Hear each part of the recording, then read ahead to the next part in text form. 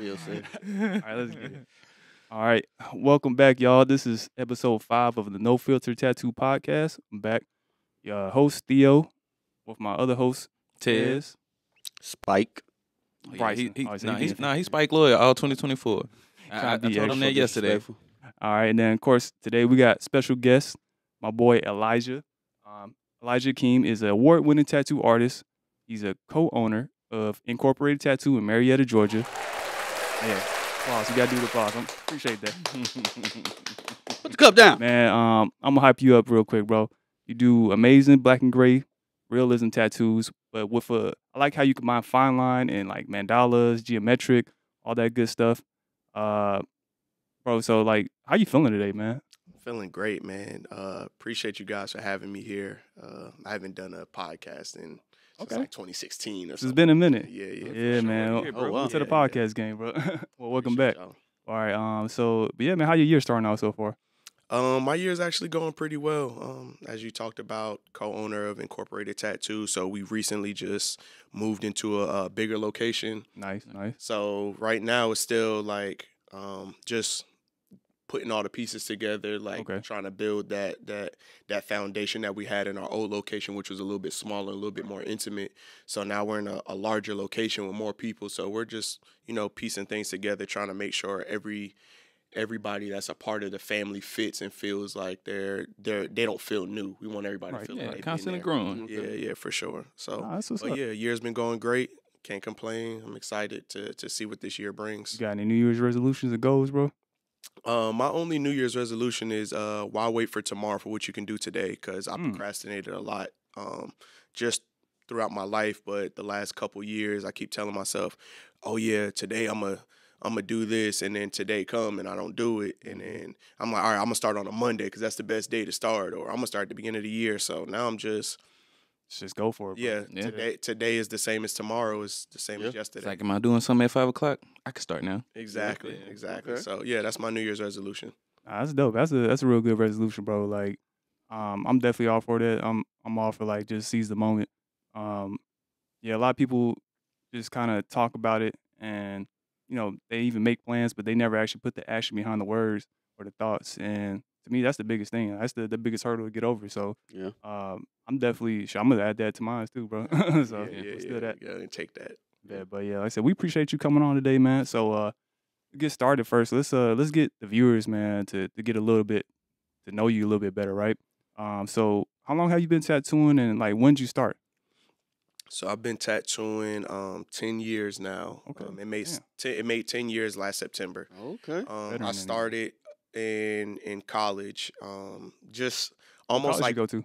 uh, South Georgia State College. Okay, Okay. What was you majoring in? Um, communications at the time. So I was actually okay. in. Do I was supposed to be doing stuff like this, Oh, like Oh wow. Okay. Oh, it's in your blood. Yeah, yeah. Yeah, So yeah. I actually before I started tattooing, I was actually doing YouTube comedy skits. So Okay, yeah, like. I was I was pre Vine, pre Damn, okay. okay. uh like any person Oh, that the- you and see on like pre yeah, pre DDG all of universe, those. you'd be yeah, like a one of the, like a Desi Banks, a Drewski, or something like Mhm, that right yep, now. like you wasn't King tattooing. Bach. exactly, exactly. That's, that's so yeah. I started I started um doing comedy skits in 2008 on YouTube and stuff like that. Um and Can they still see these videos today? Yeah, yeah, they're still on there. I ain't gonna tell y'all the link. You just gotta go. You gotta go You gotta search find it. internet Find to it. go find it because I sometimes I go back and look and they're a bit cringy to me. So I'm Ah, man, You know how we are about our own stuff, right? exactly. Yeah. So with that being said, like if you know, you know, type. Right, So if you can find it, then go for it. But Yeah. um, but yeah, I was in school, communications major, and while I was in school, I took a video broadcasting class um, after I had finished all my um, general ed classes. And when I was in class, um, my professor she gave us an assignment. She didn't like my response to the assignment, which was like, which what what was one thing that you learned during doing this process, Mhm. during this process, which had to do with um, she wanted us to like make a YouTube account and then try to get subscribers or something like that. And I was like, oh, I didn't really learn much because I've already been doing this for years. And she was like, if you put something else like that again, um, I'm gonna fail you. And um, I just didn't like somebody having that much control over Right. me, and it made me feel like if I really got into this field, Mhm. that it would start feeling like a job rather than a hobby Yeah. or whatever. a passionate about what exactly. It's like she literally crushed my my passion almost th- that day, and that's kind of what led me into tattooing. So she kind of saved she saved me in a in a certain Right, way. right. Um, but yeah, she said that, and then I was like, man, I kind of want to start tattooing, and it was just like a random thought. And then I was home for a summer break. But did you draw before, or were, or was it like it all started at the same time, like drawing? That's exactly what I was about to Yeah. get into. Um, was home for summer break, and um, um, I love my wife, but at the time, you know, what I'm saying this is pre-marriage. I was on I was on Instagram, and a girl was like, "Yo, um, does anybody know any good tattoo artists in Atlanta?" And I just clicked on her page, and then like it wasn't like nothing to it in terms of her page, but in my mind, I was just like, "Man, I bet you tattoo ar- tattoo artists get a bunch of girls and money." Yeah. And I was like, Rockstar life. yeah, exactly. So I was like, yo, you know what? I'm about to I'm about to see what I can do. So my my brother actually grew up as the artist in the family. Okay. My older brother. So I just like looked up to him and wanted to kind of follow everything he did. So at one point he was doing tattoos and stuff. Um, but at this time, like he he was like on to other stuff. Okay. And I was just like, yo, I remember him like learning how to draw. So I was like, yo, I'm about to just teach myself. So I started teaching myself how to draw, went back to school, got my refund check, brought my first tattoo machine off of like Amazon or eBay. You remember the uh, machine name? Nah, it It's one of probably them, didn't like, have a Chinese name. machines. Yeah, Yeah, it if probably it was didn't have a name. Yeah, some coil machine, and Okay. then just ran it up from from then. So um, I'm- so I'm assuming you started like self taught, but um, Mhm. did you ever like get an apprenticeship, or was it something like you just kind of got good enough to get in a shop, and then from there you just kind of learned and got better? So um, it was almost a combination of both. I finagled my way. So I've reached Make it till you make around. Yeah, yeah. I reached around to like um, shops trying to get apprenticeships and stuff, and I'll skip the whole backstory, but I ended up um, coming across um, Inkorporated Tattoos. The owner there is um, Tony, aka Shout Why Not. Tony. Shout out to Tony. Um, Mhm. met Tony. I was like, look, I'm trying to get an apprenticeship. At this time, I had already been tattooing like a year and some change, but I didn't tell him that. I was just like, yo, I'm trying to learn how to tattoo and stuff. And he was like, okay, cool. Um, come in on Monday, um, and we'll see. We'll go from there. At the time, I was working at a warehouse, so um, How long you was working at the warehouse? at this time, I had been working at the warehouse like a couple months or whatever. was like, I um, ain't doing this shit no more. so like I was working at a warehouse. I I came up to the shop for like the first day, still kind of not knowing what's going on, but I was like just doing whatever he needed. Um, I think Wednesday was the last day I ever went to a, a regular job. Like I quit. Yeah, like. Okay. I I, le- I I left that Wednesday and I never went back. you went I- there Monday and then I went there Monday, Tuesday, Wednesday. Wednesday was a like, and I was going to, I confident. was I doing like it. both, and I went to like once I got to shop on Wednesday, I never went back to a regular job. Like I didn't know what I was going to do. I didn't have any source of income coming in. I'm gonna make it though. Yeah, exactly. Like so for for the people that don't know, when you're apprentice, you don't get paid. So I didn't have any other any other income. Um, and I was at the shop for a few months, and then one day I was bored and I tattooed myself. I did this. Probably can't see it, but I did this tattoo on my hand. Zoom in, don't worry. Yeah, yeah, yeah. Let y'all see that. At the time, I wanted to be a new school artist, so it's like a Okay, flower bomb, a rose alright. flower bomb. Um, I had did that, and Tony seen. He was like, "Bro, I didn't know you knew how to tattoo." And I was like, "Yeah, man, I tattooed for like a year or so." He was like, "Bro, you don't." Could've Just start, been, yeah, just bro, set you up a booth. It's time Yeah. to start working. So after that, it was just Okay. it was up after that, and then How was that year back then tattooing? Or- I know like like 2024 is kind of different based off like probably 2014. mhm. How was that year for you going into it? um, Like, was you saying like was it busy Like- or something back then? Like or? business business wise, like So um I feel like I'm one of those people that kind of I base my um my logic based on what I think others would would move would get them to the best way to explain it is like I knew it what you said earlier, fake it till you make it type thing. So Okay. the best way to explain it was when I when I got into tattooing, I had already had like 17,000 followers pre pre tattooing that was from the comedy game. it, Or- from or- comedy, from I used to do like shout outs and stuff like that. Okay. Um, okay. Tyreek Hill, he probably don't even remember. He used to ask me for shout outs on Instagram and stuff like Okay, that. that's Yeah, crazy. so we used to Yeah. hoop together. Um, but so yeah, you Hooper too? yeah, yeah, yeah. So um, get you on the court got a new day. team. yeah, yeah, teammate. for sure. So, but anyway, so I already had a bunch of followers on on on Instagram at this time. So once I started tattooing, I kind of like got rid of most of the other stuff and just left like the artwork. Mhm. So that when people started like seeing me tattooing, yeah. your first thought is at this time, 17,000 followers on Instagram is a lot. Yeah. Right. That's a Yeah. lot. At that time? Yeah, 2014, that's Yeah. a lot. So it might have been 2015, but we'll just call it one or the other, Yeah. right? Mhm. Um, people would see that and just assumed, oh, he's bubbling because of tattooing. Okay. So you want to support me because you think everybody else is already Right, supporting me. right. So Right. you don't, you're not concerned about, oh, he just starting out, he got 150 Right. followers. Leave it up to the I imagination. yeah, I don't Yeah. know if I can trust him or whatever. You come on there, you see I'm already getting likes and comments. You just assume, Right. oh yeah, he's been he's been doing what he's Got doing. these you followers, said so it. he, he must Exactly. be good. Yeah. Exactly. Who Exactly. am I to correct you? Exactly. Right. So, and I never told anybody Any anything different. other. Yeah. I let you I mean, believe right. whatever you wanted to believe. So, yeah. I I kind of I wasn't like instantly booked by any means, but Yeah. I had a I had an outlet quick, so it was Okay. easy for me to start being like, hey, come get tattooed and stuff like that. So that's kind of how it started. But please believe I went through a, a long, slow period of just So- making okay. ends meet. So how long did it take before you felt like you were good? I guess you would say. I, I mean, I know you probably still feel like you're trying to get better, right? But but like I guess into the terms of like uh, the, you're better than the average artist. Let's say that. Mm, And keep in mind, I did see you last year sitting in that front row when you won that first place. oh yeah, for sure. for yeah, I sure, saw for you. I sure. said, Getting he, them know, he know he got this trophy. Um, when did I realize I was good? Probably maybe, mm, like, maybe like two, three years ago. Okay. Damn, Yeah. okay, so about Seven years Seven in. years. took about yeah, it took about seven years before I can consistently like what I was putting out. Okay. So I was liking tat like it took about four year, four to five, probably four years before I actually was like, yo, I really like this tattoo or whatever. A lot of Mhm. times I would like a tattoo, they would leave, and then I would hate it. uh, Like, Oh, a yeah. couple Yeah. months later, Yeah. and I'm like, oh my god, bro, like. Shoot, if that. Yeah, Yeah. so yeah, sometimes it sometimes it's right there. Like soon as they Yeah. leave, like Before you're you looking even at the finish, you pictures, just- when, when you about to post it, and you realize, man, this ain't Oh as man, good no, I that's the yeah, worst, yeah. man. When you like finish a tattoo, you doing the tattoo the whole time, you think you're killing it, and then you you done, look at the pictures, like I hate this shit, bro. Yep, like, no, yep. man.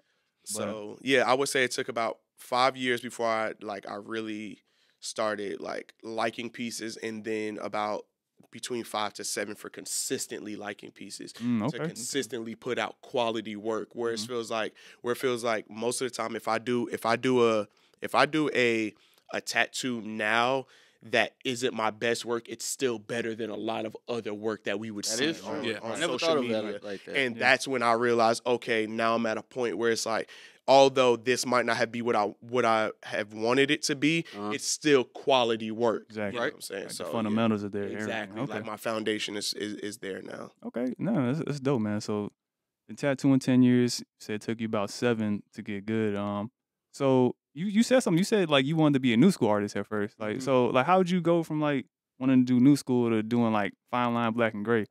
Um, do you do colors? Nah, nah, I haven't done. Do you know how to do color though? If you had to, Shit. Um, it- it's been eight years, so I'm sure that the, the the application and how Yeah, to do it's still- things it's is a lot different. But I feel like if I had to do it, I You could pull it probably off. could because you know it's like one of those things. If you know enough, you can probably yeah, take it into other. You know the basics. you know how to Yeah, pack black. You know how to pack yeah. color. You know what I'm saying? So, but my color theory would be terrible, stuff like that. like Ah, I wouldn't have the foundation on that, but I would know how to apply color. Right. You get what I'm Okay. I could probably have it saturated and things like that. Um, how I ended up doing uh, black and gray, it's a that's two parts to it. One part was I, I was coming into it, I was more of like a chameleon in terms of I didn't really know what I wanted, so I would my interests were based on the interests of people around me, the Okay. artists that were around. So were you like time. versatile in the beginning? Like you try to do everything, Mm, or just whatever they were did? kind of it was more so like let's say like i was new and i started working here Mm-hmm. and you really loved doing mandalas i Mhm. would be like oh mandalas are cool to do right. just based off of you Right. liking it or if you Okay. want to do Okay. portraits or if you wanted to do uh new school or whatever i would like whatever kind of You're the next of the person your yeah environment. kinda Okay. so there was an artist that was that was that I was working with at the time that was really into like mandalas and sacred geometry and stuff like that. And him liking it made me want to like it. okay. Um, but how I ended up going there instead of new school was because of the fact of when I first started out, 95% percent of my clientele was was black people, Yeah. uh, melanated color skin. And at this time, it was a lot harder to to figure out how to get bold colors on Yeah. on Mhm. on melanated skin. Nowadays, there's a lot of artists that do it and stuff Yeah. like that. But when at this time, Oh, there yeah, was a lot that of insight on it, things like that. wasn't, yeah, definitely wasn't So- widespread like that. Exactly. So and And then Atlanta's known for black and gray majority of the time. Yeah, Yeah. and people weren't coming to me to do New School. I wanted to do New School Yeah. because of Craig Foster. Like I used Oh, to yeah. watch Ink Master. Okay. one of my And- um early tattoos in Craig Foster. Yeah. but, like, Shout out to Yeah, Craig. yeah, shout- shout out- shout out to. Craig, shout out to Craig, man. Craig, We gotta get him one um, day. he he he inspired me as a black tattoo artist and stuff Mm. like that. And I really, like I said, I was kind of into what other people were into, especially if they looked like me. So he was into New School, and I thought it was cool. I thought it was creative. Okay. And so I was drawing like new school pieces and stuff, but it, it was hard to get people to even want new school back then, especially if your clientele was black. Nah, Um, definitely. definitely. so I was like, all right, yeah, you know that what? is true. I'll just focus on black and gray. And then I was like, I'll come back to the color. And then as I started doing black and gray, I was like, yo, uh, voice cracked like 30 seconds ago. Um, I good. wanted to, I um, this. I wanted to, I got to a point where then I was like, man, I just want to master black and gray. And I'm still at least 10 years out from mastering it. So who knows if there's ever a chance of me doing color. Now, Okay. you, since you said you was a uh, pretty much a chameleon as far as finding your style, do you think any of those techniques helped you with your style now? Um, so I mean, yeah, technically, because like I said, I probably, I probably wouldn't enjoy doing mandalas and stuff Mhm. if it wasn't for that artist that I was around at the time Mhm. enjoying mandalas. Because the funny thing is, Tony hates mandalas; like he can't stand it, and he always like commends me every time I do. He's like, "Bro, I don't know how you be doing all them little tiny little details and stuff Yeah. like that." And it's just like, bro, it's just it's it's so normal to me or whatever. Yeah. But if if at the time if it was just Tony that I was working with at the time when I came to the shop, then I probably would hate Probably wouldn't. right now. That's crazy. You know what I'm Alright, saying? okay, So that's- Practice make That's a good point to make. Like, so do you feel like a lot of um, younger artists they they're in shops where they might not be around the the best artists? Do you feel like that'll affect how they grow? Like you saying, like, all right, I, my style was kind of grew because of the artists I was around. So do you feel like, or let's say an artist wants to um specialize in what you do now, mhm. but they're not in the shop that has like the the right environment for that. Like, what what advice would you give them to to kind of go down the path that you're at now? Mm, I would say, I would say you kind of you. Unfortunately, you have to learn on your own at that point. Yeah, Um, find it's like tattooing is so weird. Like it's Yeah. just find find find what you like at the There's end. so of many the different paths to Right. take. Yeah, but the end there's goal is to do a great tattoo. Exactly. So it's like, for instance, like um, right now we have an apprentice and we have multiple apprentices. Um, but one of the apprentices, um, she was asking about doing this flash sheet, and she was like, they were like, um, they were essentially full body portraits Mhm. of like realistic portraits oh damn, okay. and she wanted to make them into flash sheets and but they were like roughly like this big like they Some- some weren't yeah, they were they were like inches. super small, and I'm like, I was like, the first thing I said was, I was like, nah, I wouldn't. I was like, nah, that wouldn't really work as a as a um as a flash. I was like, because you can't do those a certain way, and then literally as I'm saying, I'm like, scratch everything I just said. I was like, try it out. I was like, because I'm limiting you your abilities based on what my abilities are. Mm, I was like, try it out and see if it works because I'm not gonna tell you that you can't do this Yeah. because who am I to say that you can't? Because Mhm. if you just go based on what I can do, then you can only go, you're only gonna be able to do what I can do. And sure enough, she pulled it off. Okay. Like Sometimes, some things it's just Pulled it about trying. Yeah. I mean, that's, pulled that's, it that's off. definitely face face literally this big, bro, this big with de- it's wearing sunglasses and everything. new generation, man. They they Like, coming up bro, with new techniques, new yeah. new styles all the time, bro. So Do you think, uh, like even as a mentor, do you kind of this will be like the longevity as well when it comes to stuff like that as well? Because there's pros Um, and cons to anything. For sure. Um. So right now, I'm not. I, when she's because all of this is like practice skin and stuff like okay, that. okay. So, it's So, getting used to the, the machine and Exactly. techniques. So I'm more so I'm more so letting them be who they are as an artist first Okay. before we go down the route of of this doesn't work or that doesn't work because if we all just went based on what we believed was always going to work we'd all still be in here doing traditional you know what i'm That saying is correct. I mean, it's true. so it's like everybody said oh you can't do realism because realism doesn't last Mm-hmm. things like that. So it's like I'm not even so much concerned about the the longevity as of right now as much as I am with not te- the art. yeah, yeah, not Yeah, telling people yeah, no. You don't want to restrict their growth. exactly. Okay, So no, I respect that. That's that's a good. Art is very open. Cause I'll be honest, like me as a mentor, I'm kind of, I'm more on like that now. Like I want you to know like the fundamentals, fundamentals. and like then you become an artist as, as you Mhm. go. But so that's a good take. We, we could definitely get in more into that later on, cause that's that's a whole rabbit hole to go down Oh, there right there. I, I got so much. yeah. Okay. Bet. Perfect. Uh, perfect. Um. So I want to also we want to get to know more about you though before we get down that. So, like I said, for you're not only the co-owner of uh, Inkorporated, but you're you're an entrepreneur in a lot of different ways. You you also, um, what you came up with the the a party game, right? It's called Mhm. the CP Time Game, hmm and um, Yeah, I have two. two. Oh, okay, what's the other one? Um, so I also have a roll call, which is under the CP Time umbrella. Oh, so, Yeah. so how do you so just tell me how'd you get into that? Like, well, how'd you come up with the ideas? How how did the actual like marketing and like getting manufactured and released and stuff like how did that go? Um, so man, there's so many layers to it. Um, I bet, man. yeah, I'll, I'll I'll make a make a, a long story as, as short as possible without skipping too much detail. The the idea initially came from me and my family. We love having um like game nights, family nights, things like that. And we Okay. we we tend to like especially at this what was your favorite game? Like Space, Uno, or and that's exactly what I was about to get into on how we got to the game that I came up with. So, um, one of the games we always played at our our game nights was called Five Second Rule. The way Okay, Five. Second Rule works is it asks you a question, and it always says like name three, and then it has something, and then you flip the timer. You have to answer before the timer ran runs out or whatever, and it was always five seconds. A lot of Mhm. pressure. So yeah, so you you only have five seconds to answer every time. So Encourage quick thinking. Exactly. So, for instance, let's say, let's say, um, I might come up with this just out of necessity because it just popped up, like a tattoo version, right? Right. Let's say I'm like li- list three or name three tattoo styles, Okay. and you would have to answer before the five second runs Okay, out. okay. But you, of course, you don't never you never know what your question is gonna be. Oh. So what happened was we were playing the game and we would play all the time. And for whatever reason, this specific time, we asked a question and I can't remember what it was, but it was name three of something. And the person, it, I think it was like name three so and so movies of a certain person.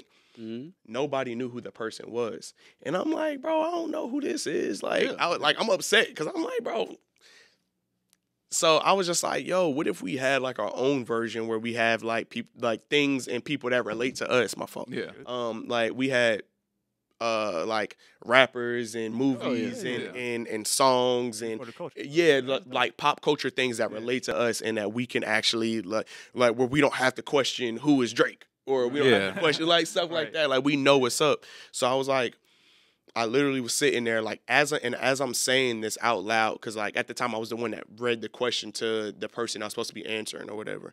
As I'm um reading the the or as I'm talking about this, I'm like, yo, what if we had one and it has our questions or whatever?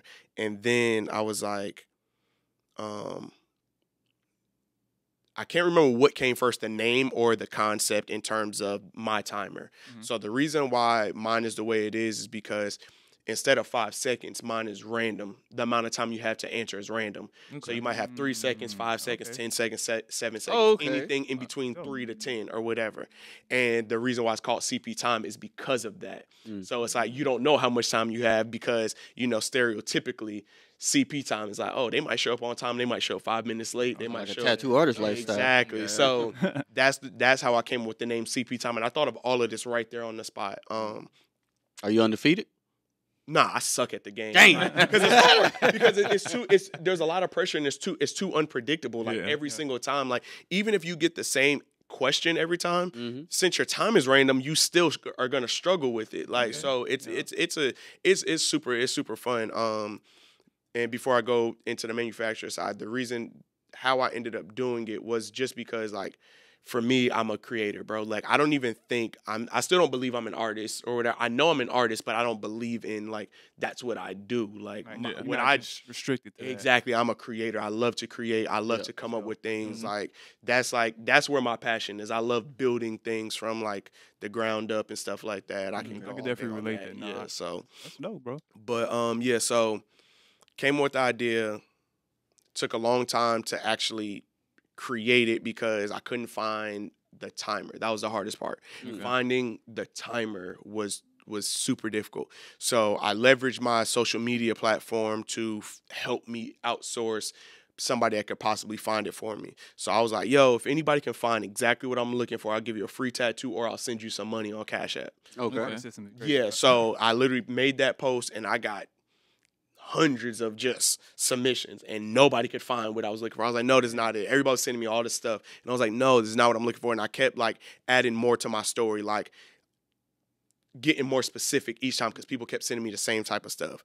And randomly, like after like probably like I don't know how long, it was a long time, a girl sent me exactly what I was looking for. And I sent her some bread and um I ain't gonna say how much, but sent her some bread. You looked out for it. Yeah, or the Oh, broke no. off or whatever. Um so yeah, and then after that, the luckily the person that made the the timer for me was able to produce the actual cards and everything that like that for me. So my job was just designing designing the product, coming up with all the questions, um, coming up with the rules, and this is pre Chat GPT, so I didn't. So you I didn't to- ha- yeah, I had to actually get down Yeah. in them trenches and figure it out. So how long did it take you to come up with all like all the uh, questions and all that you would say? so for CP time, it probably took me about um, mm, I want to say it probably took me about mm, altogether from from from thinking about it into to actually creating it probably about two years or a year and a half. For roll call, that one probably from creating it from or thinking of it to actually coming up with like everything that I needed to put it into production. That probably took me maybe like two weeks. Okay. Because you already experienced and kind of. Bro, I knew everything, Yeah, and this one it was so it was it was it spoke to my soul. So I was able to come up with the questions in like a couple days. I come up with the, I came So up is with the roll rules. call released already, or Yeah, got- roll call is out. Roll call is actually by paper um um more successful Okay. than CP time in terms of um volume sales Mm-hmm. um in comparison to CP time, but they're both super successful. Yeah, I actually I'm I'm- gonna get give me. yeah, please. I should have brought some. Um, I have roll call in the car. Yeah, like I actually, I actually do better selling games than tattooing That's for crazy. sure. By Oh, wow. yeah, by a large margin. Why do you think that? It's, it's just um, easier to, to move a, a game. Yeah, because because I only have to create the game once and sell it forever. Whereas tattooing, I have to do that every day. Yeah. Exactly. So with the games, like I just I just created the games, made um sell like on Amazon or yeah. So it- Amazon, I'll be killing on Amazon. Um, Man, I love to hear. I, that. um, I sell on my website or whatever as well. Um, you would say Amazon's the main seller though. so yeah, now Amazon's the main seller. Before that, it was the website. Um, but yeah, like do you yeah. think it's important for us as tattoo artists to have like different Outlet. income? Yeah, outlets, stuff like that. oh for sure, for sure. Um, my first my first thing that I did was I created an aftercare line um, back in the day. Matter of fact, this is Uh, actually a little uh, oh, it's such a a, a, a gem because nobody Yeah. knows that it was me that created it, and I'm not sure if you responded. Do you remember it was a because I, I think I sent it to you. It's called Helix. Oh yeah, yeah, I remember. yeah, yeah, that was me that created that, and I didn't want people to know that I made right? it Yeah. because I didn't want people to judge the quality or anything about the product based Mm-hmm. on who I was. Okay. So Yeah. I kept it blind, and I just used that Yeah. that to to send like I would hit up artists, Mhm. or I would just ask people for the address, like, hey, I want I want to send this or whatever, see if you like it or whatever. The reason why I stopped doing Helix because it wasn't passive. The, the Yeah, bigger it's a lot the bigger I work. became, the more work I had to do. So it Yeah. wasn't what I actually wanted out of it or whatever. Yeah. Because it would take me like two hours just to make like fifty of them. Damn, So yeah. in a in a shop set, twenty four came in it. So imagine a bunch of shops start ordering. Like now I Yeah. can't do nothing. And tattoo. Yeah. can't Yeah, do so I was just like, yeah. So I had to I had to give up on that dream, and then sneaker restoration. Um, Okay, damn man, when man I- talent. yeah, yeah. When I when I was in middle school, I sold candy and stuff like that, so I can buy. Really, everything that I do is just based on me being able to buy what I want. Yeah. whatever. So you so- you always been an entrepreneur, man. Mhm. Like, it's it's Yeah. just in your blood, bro. yeah, Uh, for sure. nah, I respect that, man. To me, that's that's the biggest struggle now. It's like trying to find passive um, sources of income, like truly passive, like you said. Yeah. Like like yeah, you spend the time creating it, but like you just leave it alone Yeah, and have it stack up. Um, for me, uh, uh, the only easy way, easiest one I've come to is just investing, like, cause you know Mhm. it's it's kind of like, all right, you just put some money away, boom, and let it sit. But Mhm. like I admire like just the coming up with the the products and selling them. Going out. Yeah. Yeah. yeah. So yeah, I, I would say um, when it comes to like passive passive income, um, uh, there's different ways to go about it. It's finding finding what's missing, Mhm. or or um, or just really just sitting back and thinking think what what kind of relates to you. So like for instance, like before we started shooting, you talked about you haven't done a seminar in a long time. Right. You can create passive income That's, just that's something ju- I've been thinking yeah, about. just yeah. based off of that because you already have cameras. Just Right. record your seminars. Exactly. Daniel Silva did it for Yeah. a long time, and he was selling them for like fifteen hundred Right. per per thing or whatever. So you record one time, you put it out one time, and you can let that sit for Yeah. the rest of your life. Yeah. You can Facts, update it if, facts, if yeah. need be. Yeah. But at the end of the day, it's already there. So even if even if nobody buys it or if everybody buys it, you're not losing because you only Right. it's it's create once, sell forever, and that's the Mhm. way to go about it. Um, No, that's you exactly So- right, bro. Like that's actually something I've been thinking about for a while, and uh, like I was I was planning on doing it because um I was actually gonna have uh the guy. So there's a videographer I work with, Jordan. Mm. He um shout out to Jordan, man. shout out to Jordan. Yeah, he he, he did our like YouTube bio videos, Mhm. and he actually helped us get our setup going with this too. And then um, but I was gonna have him do the recording editing just because that way I could focus on the actual teaching side. Yep. And um, but yeah, I just you know this past year kind of got off track. So now 2024, that's that's definitely a goal. I want I want to actually like commit to and do. Yeah. Don't wait for tomorrow for what you can do today. Mhm. Next one, man. dropping, dropping bars. Out. Yeah. Yeah, I remember earlier, man. You you told me that um Tony Tonio um he had Inkorporated um brought you on now you're a co-owner like so how did that process go from you becoming like starting as an artist and becoming like partner in the business Um, that kind of started based on one me me showing him that I care about the growth of the shop. So similar mindset. Yeah, like um really invested into it Yeah, so when I first got there, remember I was telling you guys like I had like 17,000 followers already and stuff like that, but I had two Instagram accounts. My other Instagram account I think had like I want to say like 10,000 or something like that.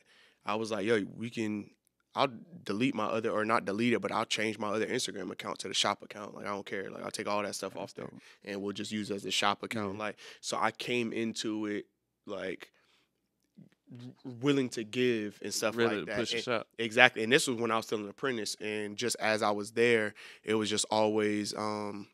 Because when I first got there, there was only one other artist that was working there at the time. Other So three Tony. total. Yeah, so I made the third person once I got there or whatever. Um, and then that person left shortly after I got there for um his own personal reasons or Yeah. whatever. But most of them had to do with me coming there, we believe. but um, but nonetheless, like it was just like I was just invested into the shop and I was like, Mhm. bro, like I want to help the shop grow. I care about the shop and stuff like that. So it was just me and Tony for a long time. It was probably me and Tony for about and I don't know, it had to be like three three years at Three, least, yeah. just me and him. Um, and So you then saw uh, that dedication yeah, exactly. Like, and we weren't even looking to hire other artists. We were just cool. We were cool. Like, we were paying the bills, and we just we had our own thing And how going many or whatever. spaces did you have in the smaller shop Um, at that time? At, that time, there was three. There was two outside, and he had his own room. So it was very similar to like his room was like through a window, just like this, and Okay. all of this was his room, and then the other two booths were out there. So he had his own like Ah, private area gotcha, or whatever. Okay. But me and him would still talk to each other and stuff like that. So it wasn't like Over the window. just Hey man, I see you. Yeah, like he Mhm. like um but for the most part, we didn't really get super close until we renovated the first time where we like tore down his wall Mhm. and then we decided to open it up and that's when we had all the other artists um Man, that sounds like a little movie scene. Tear down Yeah. this wall, man. We close together. yeah, so so we tore down the walls. We um like we fir- but first we had a conversation about like, yo, I think it's time like we we try to like make it bigger, hire artists, things like that. So we tore down the walls. Um, we set it up, and then once we tore down the walls, we had space for six artists, not including, I mean, including me and him. So four new artists to to Okay. join. Um, and then of course once we did that, we were like, at this time I had already been helping with the bills and stuff, so it was just like, yo, let's me and you will be partners in it or whatever, and then we'll hire other people, and then we'll we'll work together to to see the greater good of the shop. Mm-hmm. That's And how many years was did it take until y'all kind of like did that? Um, so Like, I was the probably wall break. yeah, so I was probably there for roughly four years, maybe Okay. four, maybe five. You know, like when you be tattooing, things just start running together in Oh, terms yeah, of time. So. I honestly can't tell you exactly what the the actual timeline is. I would have to look through my phone. Yeah. But um, but yeah, it was. I would say maybe four or five years. All right. Nice. Okay, cool, man. So that's dope, man. I, I love hearing like stories of just artists like like being committed, loyal, man, and then just being rewarded from that and just All that seeing grow. progression. Yeah, bro. So you, you definitely got a motivational story for a lot of young artists out there. Um, and speaking about young Especially giving artists, back.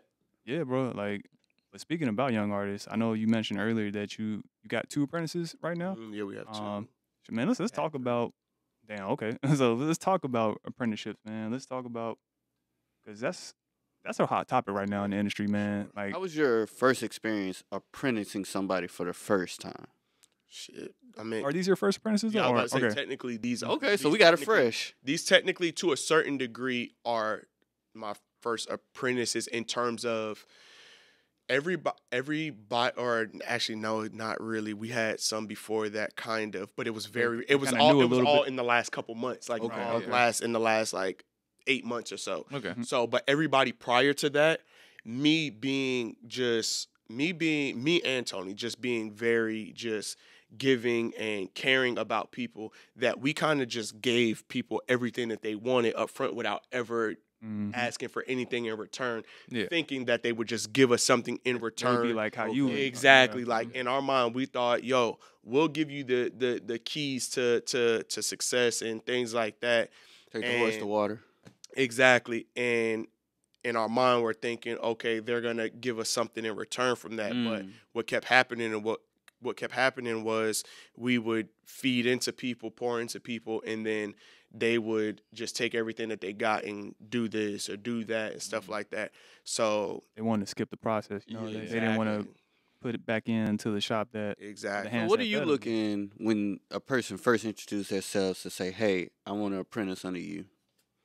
Um. So. So. Um. like I said, what do you look for in, in an apprentice, Yeah. potential apprentice? So it's it's gonna sound funny because like I know most people think, oh yeah, like solid portfolio and all this other stuff and Mhm. quality and stuff.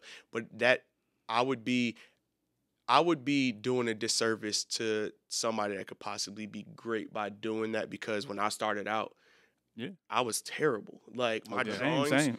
drawings awful. My Yeah. tattoos awful. Mhm. Everything was bad. Mhm. Like I said, I started learning how to draw at the same time I was learning how to tattoo. So it's not so much that like, um, and I want to talk about that a little bit later too. All but right, um, um, for me, what I look at is just what is your what is your what are you what are you looking for when you become a tattoo artist? Like, why do you want to be a tattoo Right. artist? Like things like that. You really have to of why. for it. Yeah, yeah, It's more. It's more. So it's more about them, like Yeah. what they want more than what I want when Mhm. when they're coming to to me or whatever. Um, Yeah. So now I'm just. I just want to see that you that you care. You know what I'm saying? Okay. Like, do you care? That's really what it Yeah, boils down nah. to. Do you care? Yeah, no, that's that's real, man. Um, so let's let's really take a deep dive in apprenticeships, um, and why it's such a controversial topic in this industry. Uh, I guess for our viewers who aren't familiar with apprenticeships and how tattoo, how the tattoo industry works. All right, Tez, you you being like my first apprentice, I'm like tell people like what a general apprenticeship is and how it works, like how long it takes, like what are you expected to do in an apprenticeship and stuff like that. So for the people who don't know, Um, so during apprenticeships, uh, really, you're there to just like learn everything that you know that person is uh, giving you. Uh, for me, I I knew my art style was kind of more like uh, cartoony, like new school. And when I was looking around, I did see Theo's portfolio, and I was like, well, he kind of draws similar to me. I think I could learn from this person. So you know, came by one day. Actually, I was living in the area before he even opened the shop, so I knew it wasn't here. And then I was in Atlanta for like a year. 2016. Yeah, 2016. 2015. And I, you know, I was going to different shops. You know, at the time, those shops didn't weren't looking for apprenticeships or whatever. And at that time, I also uh, was thinking that all apprenticeships you had to pay for. So I- I'm thinking, all right, I gotta have like 5K or something, which I didn't have at the time. I was like, but hopefully I could talk to one of these people and be like, I could work that off versus paying for it. Uh, so I, I think that was one of the lines I told Theo when I came in. I was like, "Oh, well, here's my portfolio. I know apprenticeships cost like three to five thousand. Ain't got that, but I could work though." And he was like, "Nah, I don't believe in that and everything." But um, uh, most shops they look for like some kind of like interest in art. Like I did, like I said, I had my portfolio. It was like a little all over the place. I had some color work, some uh, a little bit of realism because I was still just now getting into that. Um, what's another little thing? You ju- uh, yeah, it's you- definitely like you definitely got to show that you want it. Yeah, I think Like- what drew me to you, particularly to give you opportunity, was that you you showed a lot of the like qualities that I felt like I had when I was hungry and getting started, and that's why I want like you you really like wanted it, and the fact that you moved all the way from Mississippi to to Atlanta to seek out opportunity to me like spoke volumes. And uh, all right, so after you got the apprenticeship, like what like uh what were you doing? Like you know what what do we have you do around the shop? Uh, Oh. pretty much everything. You know, uh, just you know, it's not a paid thing. You got to work it off. Uh, I was mop, sweeping and mopping the floors, answering uh phones. Setting Uh, up, breaking down. Yeah, stuff like setting up, that. breaking down, watching the whole time. But I also was like, well, I was I can't even say I was older because most people start around their early twenties. Uh, but I had been on my own for a while, so I was a little bit on the mature end. So Yeah, yeah. it was a lot of things that Theo didn't really have to tell me because, I, like I said, I've been paying my own bills for a while. Um, I knew what I came here and what I what I wanted. I was here like six days a week, Yeah, yeah, and, you and you and worked also- a part time work, job. yeah, working a full time job. full-time job. So I was basically Sorry, putting in. Sorry, no, you. I was. Yeah, I was, like- these, new apprentices don't. Three they- days, they less- probably- I'm yeah, out. Yeah, like, so uh, essentially, I'm working 80 hours a week and only getting paid for one of the jobs. So right. yeah, I was just. then how long? It, like, well, you kind of. I had to kind of fast track you, um, just because at the time I I needed another artist. Yeah, Um, so I would say, well, it, this was about a year or so. yeah, I would say, yeah, I would say generally though, like a, a regular apprenticeship would probably be like one to two years yeah. before you one start. to two like, yeah. years, depending on like your learning rate or how fast you want to learn. Yeah. So so that being said, you know that's that's a general appren- apprenticeship um experience, right? You, you might throw in like some artists and shots might throw some hazing in there and stuff. I, I don't really kind of believe in the hazing stuff. I'm more so like I just want to see you work hard, right? Nah, but, But um yeah, nowadays though, this new generation of tattooers, a lot of them they see that as um they see apprenticeships as like unfair, too hard, too long. Um I even hear now like how's that apprenticeship hard, should be paid. Oh yeah, and that, Yeah. that was the other thing. And Like that the apprentice should get paid. oh Yeah, yeah, apprentice. But I like was yeah. gonna add to earlier, like uh, even with Theo, even though I put in all those hours, he only required me to be there four days out the week and for four hours. I just Right. did extra. Right. And you got I mean, you showed that drive and that's why, you know, your career took off the way it did. But but nowadays you got so many people like um you were saying, bro, Elijah, uh, it's like you you put into these people and then they just all right, all right, I know enough. Let me let me take it, let me go. I like let me skip the rest of the process. I just want to go ahead and start making money and, hmm and getting on IG and doing this and that. So like what do y'all think about um these these new this new this new generation tattooers who just kind of like want to skip apprenticeships and go the self taught I route or definitely say social media kind of probably like skewing their views because you know they. I mean, it's kind of like how we seen it when we were growing up. It's like rock star lifestyle. Like, oh, they doing these badass tattoos. Oh, I could do that tomorrow. Right. Yeah. Yeah. Social media Nah. definitely fucked the game up for for Because they'll see like uh we'll post like uh, a full sleeve or half sleeve, and you know, even in like general senses, most people see that done. They're like, oh, they only took like two hours, and you know, Yeah. Ink Master and stuff. They doing these big uh lovely pieces in like six hours. So Mhm. in their mind, they're like, oh, this happens like this all the time. And in actuality, that's just for that specific situation. Mhm. Most of the time, you're gonna sit there and uh, it's gonna take time. Like Right. Days, Most of the- yeah. weeks, months. most of them sessions take like two, three sessions, depending on you know how fast the artist is. Mm. It is some artists out there that's pretty fast, but most I won't say that. yeah. Yeah. I, know- I know where you're going though. Yeah.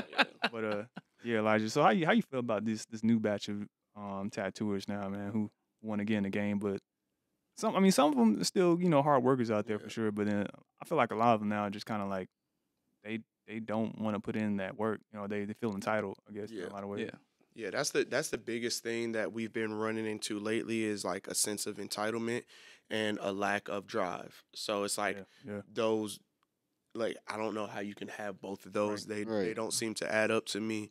Um Nah, that's for from real.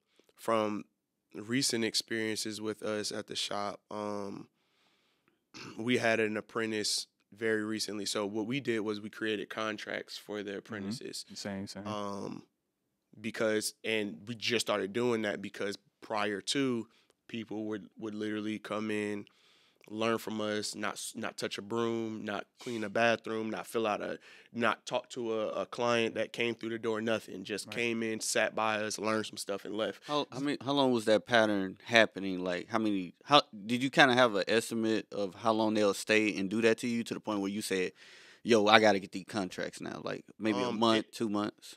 Well people were just doing it throughout the, my whole time Okay. like literally as a like a tattoo art like a, a reputable tattoo artist so Okay. pretty much any since but you got to also remember I, I tattoo with with tony like like one of the the the the the earliest black tattooer tattooers in north georgia you know what i'm saying Mhm. so Right. tony was like well known like tattooed a lot of celebrities and stuff like Oh, that so people wanted to be next to tony all the time so people would come in and just be you like yo all the time. yeah, they'd be like, "Yo, Tony, Tony, Tony." Like, and I, I used to see it from from the outside looking and not really understanding at the time, but everybody would come in and use Tony, like, and it never Mm. stopped. And Tony's been tattooing twenty plus years, Okay. so. I'm and Tony talks about it all the time. Like he was like, since he's been tattooing, I'm the only person that's ever stuck around. Like every other person has always came and this, that, and the third, and then was like, all right, cool, I got enough, I'm out, Right. and never Okay. brought anything back. So it it kept happening, and me and Tony was like, bro, like I was like, all right, cool, let's do let's do for whoever our next apprentices are, let's do um contracts. You want to protect your time, you know what I mean? Yeah. Exactly. So we ended up getting two apprentices at the same time, just just random. Like How and life they- works. yeah, they both came in at the same time or whatever. So one of the apprentices of the two we still have, um, and then the other one, she had already did an apprenticeship um, at another shop, and she paid for her apprenticeship, and the dude kind of like Not ripped her off. yeah, according to how she how she or like from her side. yeah so, from her side of it and and from from how she made it seem like and of course like i'm not discrediting if that did or didn't happen i can't say for sure Mhm. because like you know things always sound one way and then Two when you get to to know the story. person Right. then you can see how there there kind of there could have been manipulation of her story or whatever Right. so with that being said um she was there our con- and our contracts are like super lenient um Yeah. I won't go into super detail, but for the most for for the general gist of it was like at least six months before you even start thinking about tattooing Yeah. on on people. oh, and then okay, I after like that. you can start like coming up with like flash and tattooing your own clients Yeah. because we don't want you tattooing walk-ins Nah, we and you're not ready yet. Yeah, so definitely. at least six months, at least six At months least. Yeah, yeah. before Yeah. before That's then. very and reasonable, But yeah. then once you start like tattooing on real skin, you can charge for those or whatever. So you can start making money. It's just at least go through six months of giving to the shop. yeah, and it depends then on your worth ethic. exactly. Mhm. That's very fair. I mean, So yeah. so with that being said, literally four, four, five months in, four and a half, five months in, she comes to us and tells us that she thinks um, once the six months gets here, she just wants to leave and break the con or leave and go open up her own Oh, space wow. or whatever. Okay. And Yeah. so I ask her or whatever. I'm just like, what makes what made you come to that conclusion that you want to do Mhm. that? And she said she felt like me and Tony were was not we weren't giving her any any knowledge or whatever That's to crazy. Like, to to to become a, a, a good tattoo artist. Okay. So number one, if we're not giving you knowledge, then what makes you feel like you're ready to go open your own shop? exactly, That doesn't yep. make sense. That Mhm. that literally the, ma- that- the math ain't math. yeah, right there. not at all. So that's number one. Number two, um, she was just she she had no like absolutely no drive. Our other apprentice Mm-hmm. pretty much did ninety percent of the work, and she would eat off the back of her right. by her doing everything and Mhm. then making it seem like she would do stuff. And I had multiple conversations with her. Like one time she kept showing up late, and I told her, "Hey, I just want you to know, like, I, I'm not cool with you showing up late. I need you to be here on Did, did she have like a, a, a job outside of tattooing or Uh, she did, but it wasn't on the days that she was at the shop. Gotcha. So she, really didn't have an excuse. Yeah, so she would be she was off and on like hmm days that she wasn't at that job, she would work at the shop. So I was like, stop showing up late, please. Like hmm I, I don't want us to have an issue here, so I'm letting you Right. know this. Yeah. She was like, okay, I understand. I'm sorry about that. That wasn't my intentions. Blah blah blah. the next day, that morning, or could have could have been the night before or something like that. She texted me, was like, "Hey, I just want you to know I heard every word you said, but um, they're having a uh, uh, thirty-one dollar piercing specials like Friday the thirteenth or something like that, or thirteen dollars. So, so I'm gonna go to that. So I might be late, but after that, this will be my last time being late.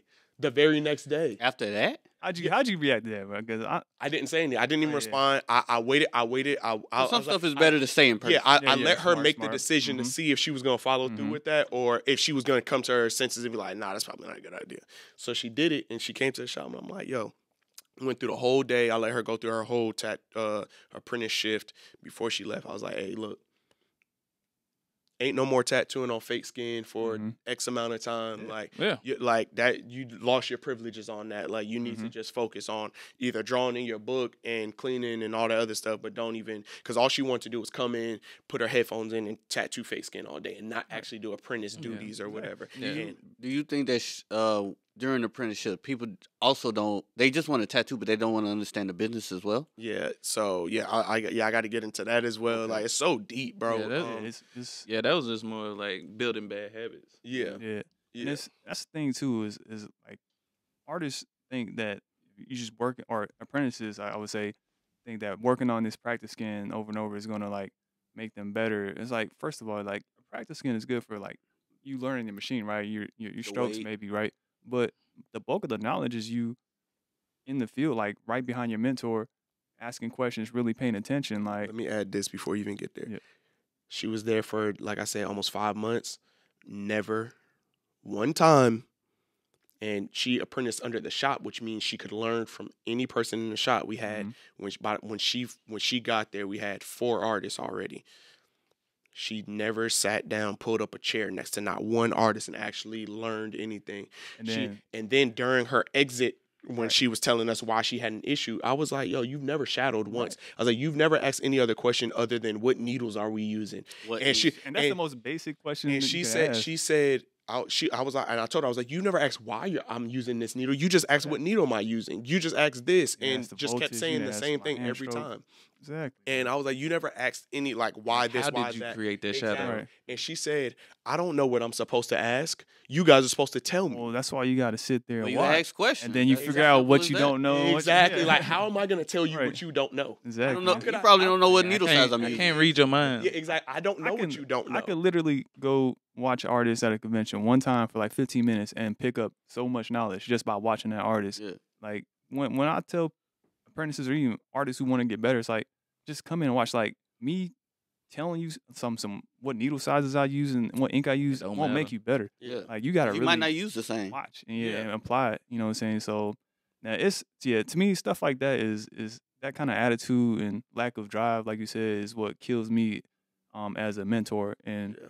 so, uh, but like you said, a, a lot of times this new generation will look at us and be like, oh, you guys are just you know gatekeeping or just being lazy and this and that. Like no, A- you don't. Another thing I see a lot of because um, just like most of us have our humble beginnings, Mhm. they were like, well, you started off learning on your own, so a lot of them get that mindset Mhm. too. Right. for sure. And but So- I sucked while I started off on my own. Like I, I got better because when I had the drive to to want to get better, and I went and get, sought, uh, sought that knowledge from as many artists as I could. Mhm, So it's it's not that you just can't stay in your own bubble. Expect mhm. you to get better. Like Mhm. and then um yeah. In fact, like what do you think about these these apprentices or young artists who go and open private studios?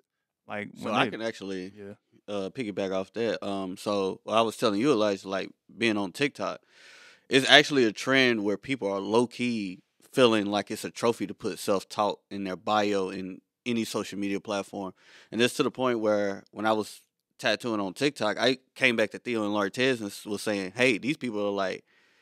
Apprenticeships is not even worth it no more. Like the newer generation are straight up saying They it. think it's a badge to struggle. Yeah, it, it's like, look at me, look at my origin story. So, Yeah. um, So, but do well, okay. Since you going off that, I would say, do y'all think art uh artists who go through a proper apprenticeship and pay their dues like get better faster in their career than Absolutely. the self-taught artists? Artists? Um, me from my experience, from what I've seen, yes, I say, yeah. agree that uh, I think that um, people that go through a traditional apprenticeship or actually learn from artists on a right. consistent basis, get better Mhm. faster. Because, like I said, I was tattooing for about a year before I got to the shop, and I Mhm. got I received so much more knowledge and got so much more better in like the first three months I was at the shop in comparison that whole year. Oh, I was yeah. Yeah, like marketing, Yeah. networking. Yeah, like no, not even that. Just Just- literally tattooing. Yeah, literally, literally just tattooing? Yeah. tattooing. Yeah, okay. Because you like it was like yeah. I was able to be there and once again seek get the knowledge that I needed. see the Ask- different techniques. Yeah, like if I ask you a question, I'm, I'm watching a YouTube video and I can only ask questions through the comments and somebody answer. then you gotta wait. Yeah, that still don't tell me enough. But if I can be there and see things, like it, that's Right. a that's a big difference. I'm glad you said it because I was doing the same thing before I got an apprenticeship with him.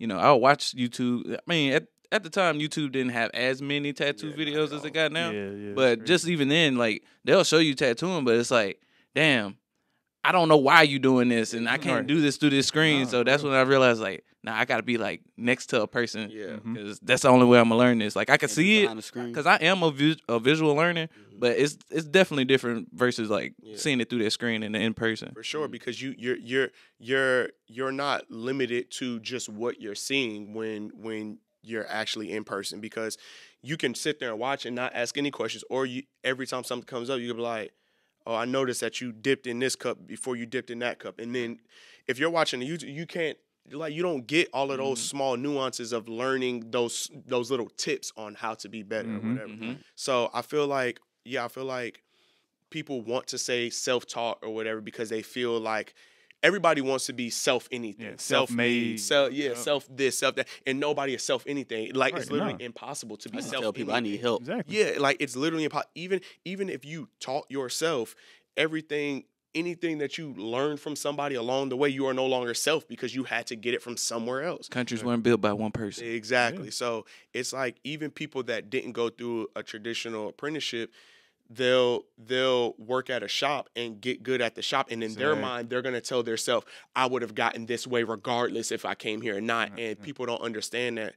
People don't understand, especially like the way our shop ran.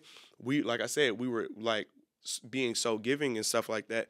People don't realize like there's luxury in not Yeah. being forced to because there's shops that are gonna force you to do Yeah. walk-ins and force you to do every tattoo that comes through and force you to do whatever. Like with us, we were super lenient on everything. So it's like if you came in and you really didn't know much, we still wanted to try to groom you to be a good artist and not try to force you force like the the negative sides of Right. coming up and Mhm. tattooing to Like go make this money for Yeah, me. type Yeah, exactly. make the money Like- for me. Like, you, you really cared Shut about them up. as an artist. exactly. So we we tried to help like And that's a hard balance. yeah like we try to help grow artists so that way they can they can um they can learn the way they want to learn rather than being forced to do anything Yeah. and i feel like it helped them it helps them grow and then like i said they we give them that and then it's just like oh well take off and yeah so especially with apprentices and like i said the the most recent one that that we had that happen with she like i said she didn't do much and then and now and the reason why she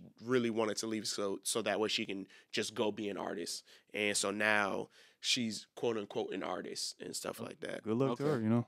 yeah I mean, There's a difference between a tattoo artist and a person who do tattoos. and, and also let me add um i- if you if an, and if a mentor is like stopping you for or is trying to take their time with letting you tattoo on on skin it's because more than likely if something doesn't go the way it should as a tattoo like if you're tattooing is and you don't do good or whatever the case is the shop has to answer that so we're responsible for mm-hmm. it for the, Yeah, your yeah. output It's our reputation not like, on the yeah, So it's not like we're trying to stop you from because we just want because everybody thinks we're just here for free labor. Like that's not what the Right. No. situation is. like we're we're not making no real money off. Like we can clean a shop ourselves. Yeah. Like it's like the you we want you to do that because it, it teaches you a work ethic and it you know it it creates that that hustle in you. You know, say I can do this, that, and that, handle all these things at the same and, time. and that's know, the and that's the biggest thing is creating that foundation because so much of that goes hand in hand Yeah. with being a Mhm. tattoo artist Right. and and on top of that it's like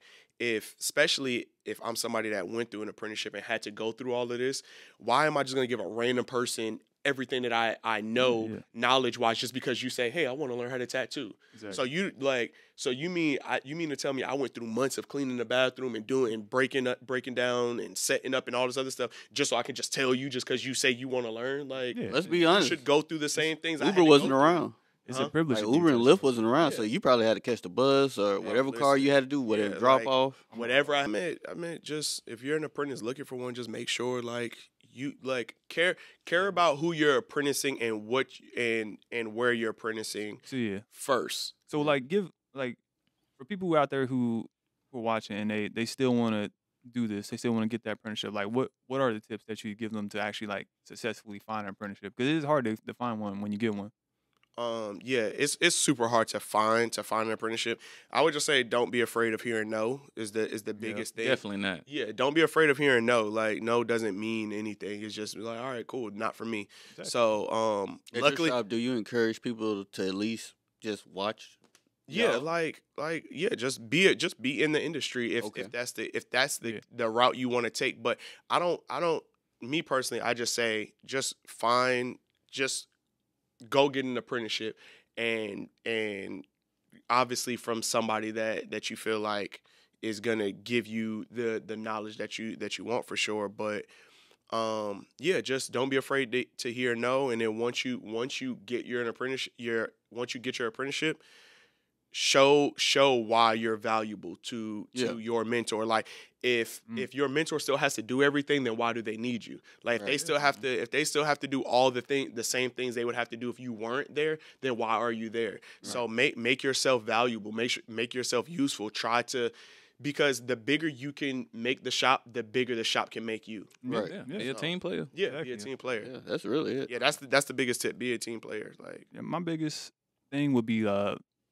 people got to realize like being a tattoo artist is is a privilege, you know? It's it's not a right. I will forever say It's, that. yeah, it's, it's not um just because you you feel like you you should be a tattoo artist doesn't mean like you have the right to become one. Like so Shoot, I wanted to be a dancer and a Yeah, MMA this- fighter this is- professionally. this is one of the best things in the world anyone could do. Like we we literally get to draw on people for a living and make, you know, as much money as we want from We it. So luxury. So if someone, if an artist is willing to give you their time, efforts, and um and to to pour into you, to, to create an artist out of you, then don't let it go to waste. Like to me, that's the biggest thing. Is like these these people they get apprenticeships and they they come in and be lazy. They have no drive. They they don't want to help out. Um, they wait for their mentor to tell them like any like you like I shouldn't have to tell you to to set up and come here watch me clean the shop and to draw. You know, it's like that. That should be something that you want to do. Yeah, yeah, because you Yeah. you really want this, right? Yeah. So um, if you if you get an apprenticeship knowing that it's so hard, like don't waste your time. Like that might be your only opportunity to to really get in the, in the industry. So if you get one, like don't fuck it up. Yeah, just for just sure. Put that work in. Whatever they It's ask all you to about do good it. timing too. Yeah, Yeah. exactly. And then also let me add, don't don't focus on what you're doing now because it's gonna be so small in the grand scheme of Mhm. things. So, like I said, Tony's been tattooing 20 years and he went through his apprenticeship. I don't know how long how long his apprenticeship was, but let's call it six months. If he did six months of grunt work in comparison to 20 years of a successful Right. tattoo career, then why are you so focused on what you're doing right now? Exactly. Because mm-hmm. that, all of this is to pay off for that next 20 Exactly. years for you You're can not even gonna remember that six months Exactly. of So- hard work. Yeah. so you could provide for yourself, provide for your family, all these other things. Right. You are now getting a key to to the rest of your life. So if you're so concerned, oh man, I, I I've been coming in every single day sweeping and cleaning, like so what? Like who cares? And you're still gonna have to continue to clean every single day as a tattoo artist. You know how Yo, how Mop clean you have to- Friday. Right. you know how to, how clean you have to be as a tattoo artist. But just- yeah, Yeah. don't don't focus on that small little section of your because that's part of your career. So people get so they want that microwavable success, so they just want everything so fast. Just Mhm. focus, just just just do what you have to do now, so you don't have to do what you don't want to do later. And that and Yeah. it's it's that simple or whatever. So just want to add that. Shout out to uh, our current two apprentices right now. Um, Yeah, okay. I ain't gonna say their names just in case they like. You never know if somebody decides to, Yeah. to burn us later. But right now, we we cool with y'all. Y'all doing a good job. Y'all know who y'all are. keep To- it up. Keep yeah, it up. yeah, keep it up. Keep it All up. adults, please. y'all know what to do. so after all of that being said, um, I brought it up earlier, but so there was a hot topic that uh I saw. It was like a it was another tattoo podcast, right? They uh they had got a question, and it was saying something like uh should apprentices should apprentices be paid um by Yeah. the the shop, and of course like you know the the mentors the artists were like hell no right, but then I looked in the comments man, and I was seeing like all these people who weren't tattoo artists were like yeah, it should be paid. You know, it's it's, it's a you know it's a trade. This and that. They're working hard. This and that. And my whole like thing was like they're being paid with the knowledge um, to have this amazing career. So uh, what what do y'all feel on that? Like I was gonna say, even at corporate jobs that do the interns, you don't get the actual pay. You either get nothing or it's like half of it or some shit like that. right, I mean, or even if you go to college, you pay to college Yeah. to to to get a degree. You know, um, and Oh, then that's the thing. Do you think the apprentices should pay? Um, I personally I don't believe in um charging a, uh, people to to get an apprenticeship. Um, I feel like they pay me back by by working for the shop, being loyal, um, and and you know just building up with the shop. To me, that's that's how I get my um compensation. I guess you would say. Um, I mean, if I I don't personally say it's a bad idea if, if you know if a shop or a mentor wants to charge someone just because I guess Your maybe to see yeah end of the day. yeah to see like how Like- serious you are then you know i got no problem with that but i would say if you do charge like someone to be apprentice then you should definitely like make sure you're provide. Uh, yeah yeah you're doing a, a, a great job as a mentor because I, i'll be honest there there are bad mentors out there you know not Yeah, everybody there- is a there's- good and some people can't mentor. teach. yeah yeah And they won't say that. They would probably just say, I just need your money anyway. yeah, And I- And I'll add to paying for it, and this is just me personally speaking. I feel like if you are an apprentice and you paid for your apprenticeship, I don't feel like you should technically have to do grunt work and all that stuff at that point. I think you should just be able to come in and that's a only good point only get the knowledge because at that point it's like a college. Because like at if you go to school and you're paying for school, Not telling Yeah. you to clean. yeah, they're not telling you to clean up and do all this other stuff. Yeah. They're just Yeah. here to give you the knowledge. So Yeah. if you are paying it for paying for an apprenticeship, your your thing should just That's be in there just learning and that's Yeah. it. Like you shouldn't still have to be doing setups and breakdowns unless they're just doing unless that's just a part of like, okay, we want you to do this so we can make sure you're learning. Just like if you're at a school and they No, the proper way of cleaning. yeah, cleaning. exactly. And another thing, um, to my bad, I want to go back to the self-taught and apprentice and all that other stuff. Mhm. A, a good reason why you want to get an apprenticeship, a very important reason, is because you you you learn about sterilization and hygiene because that's Mm. super super Oh, super man. super important. Yeah.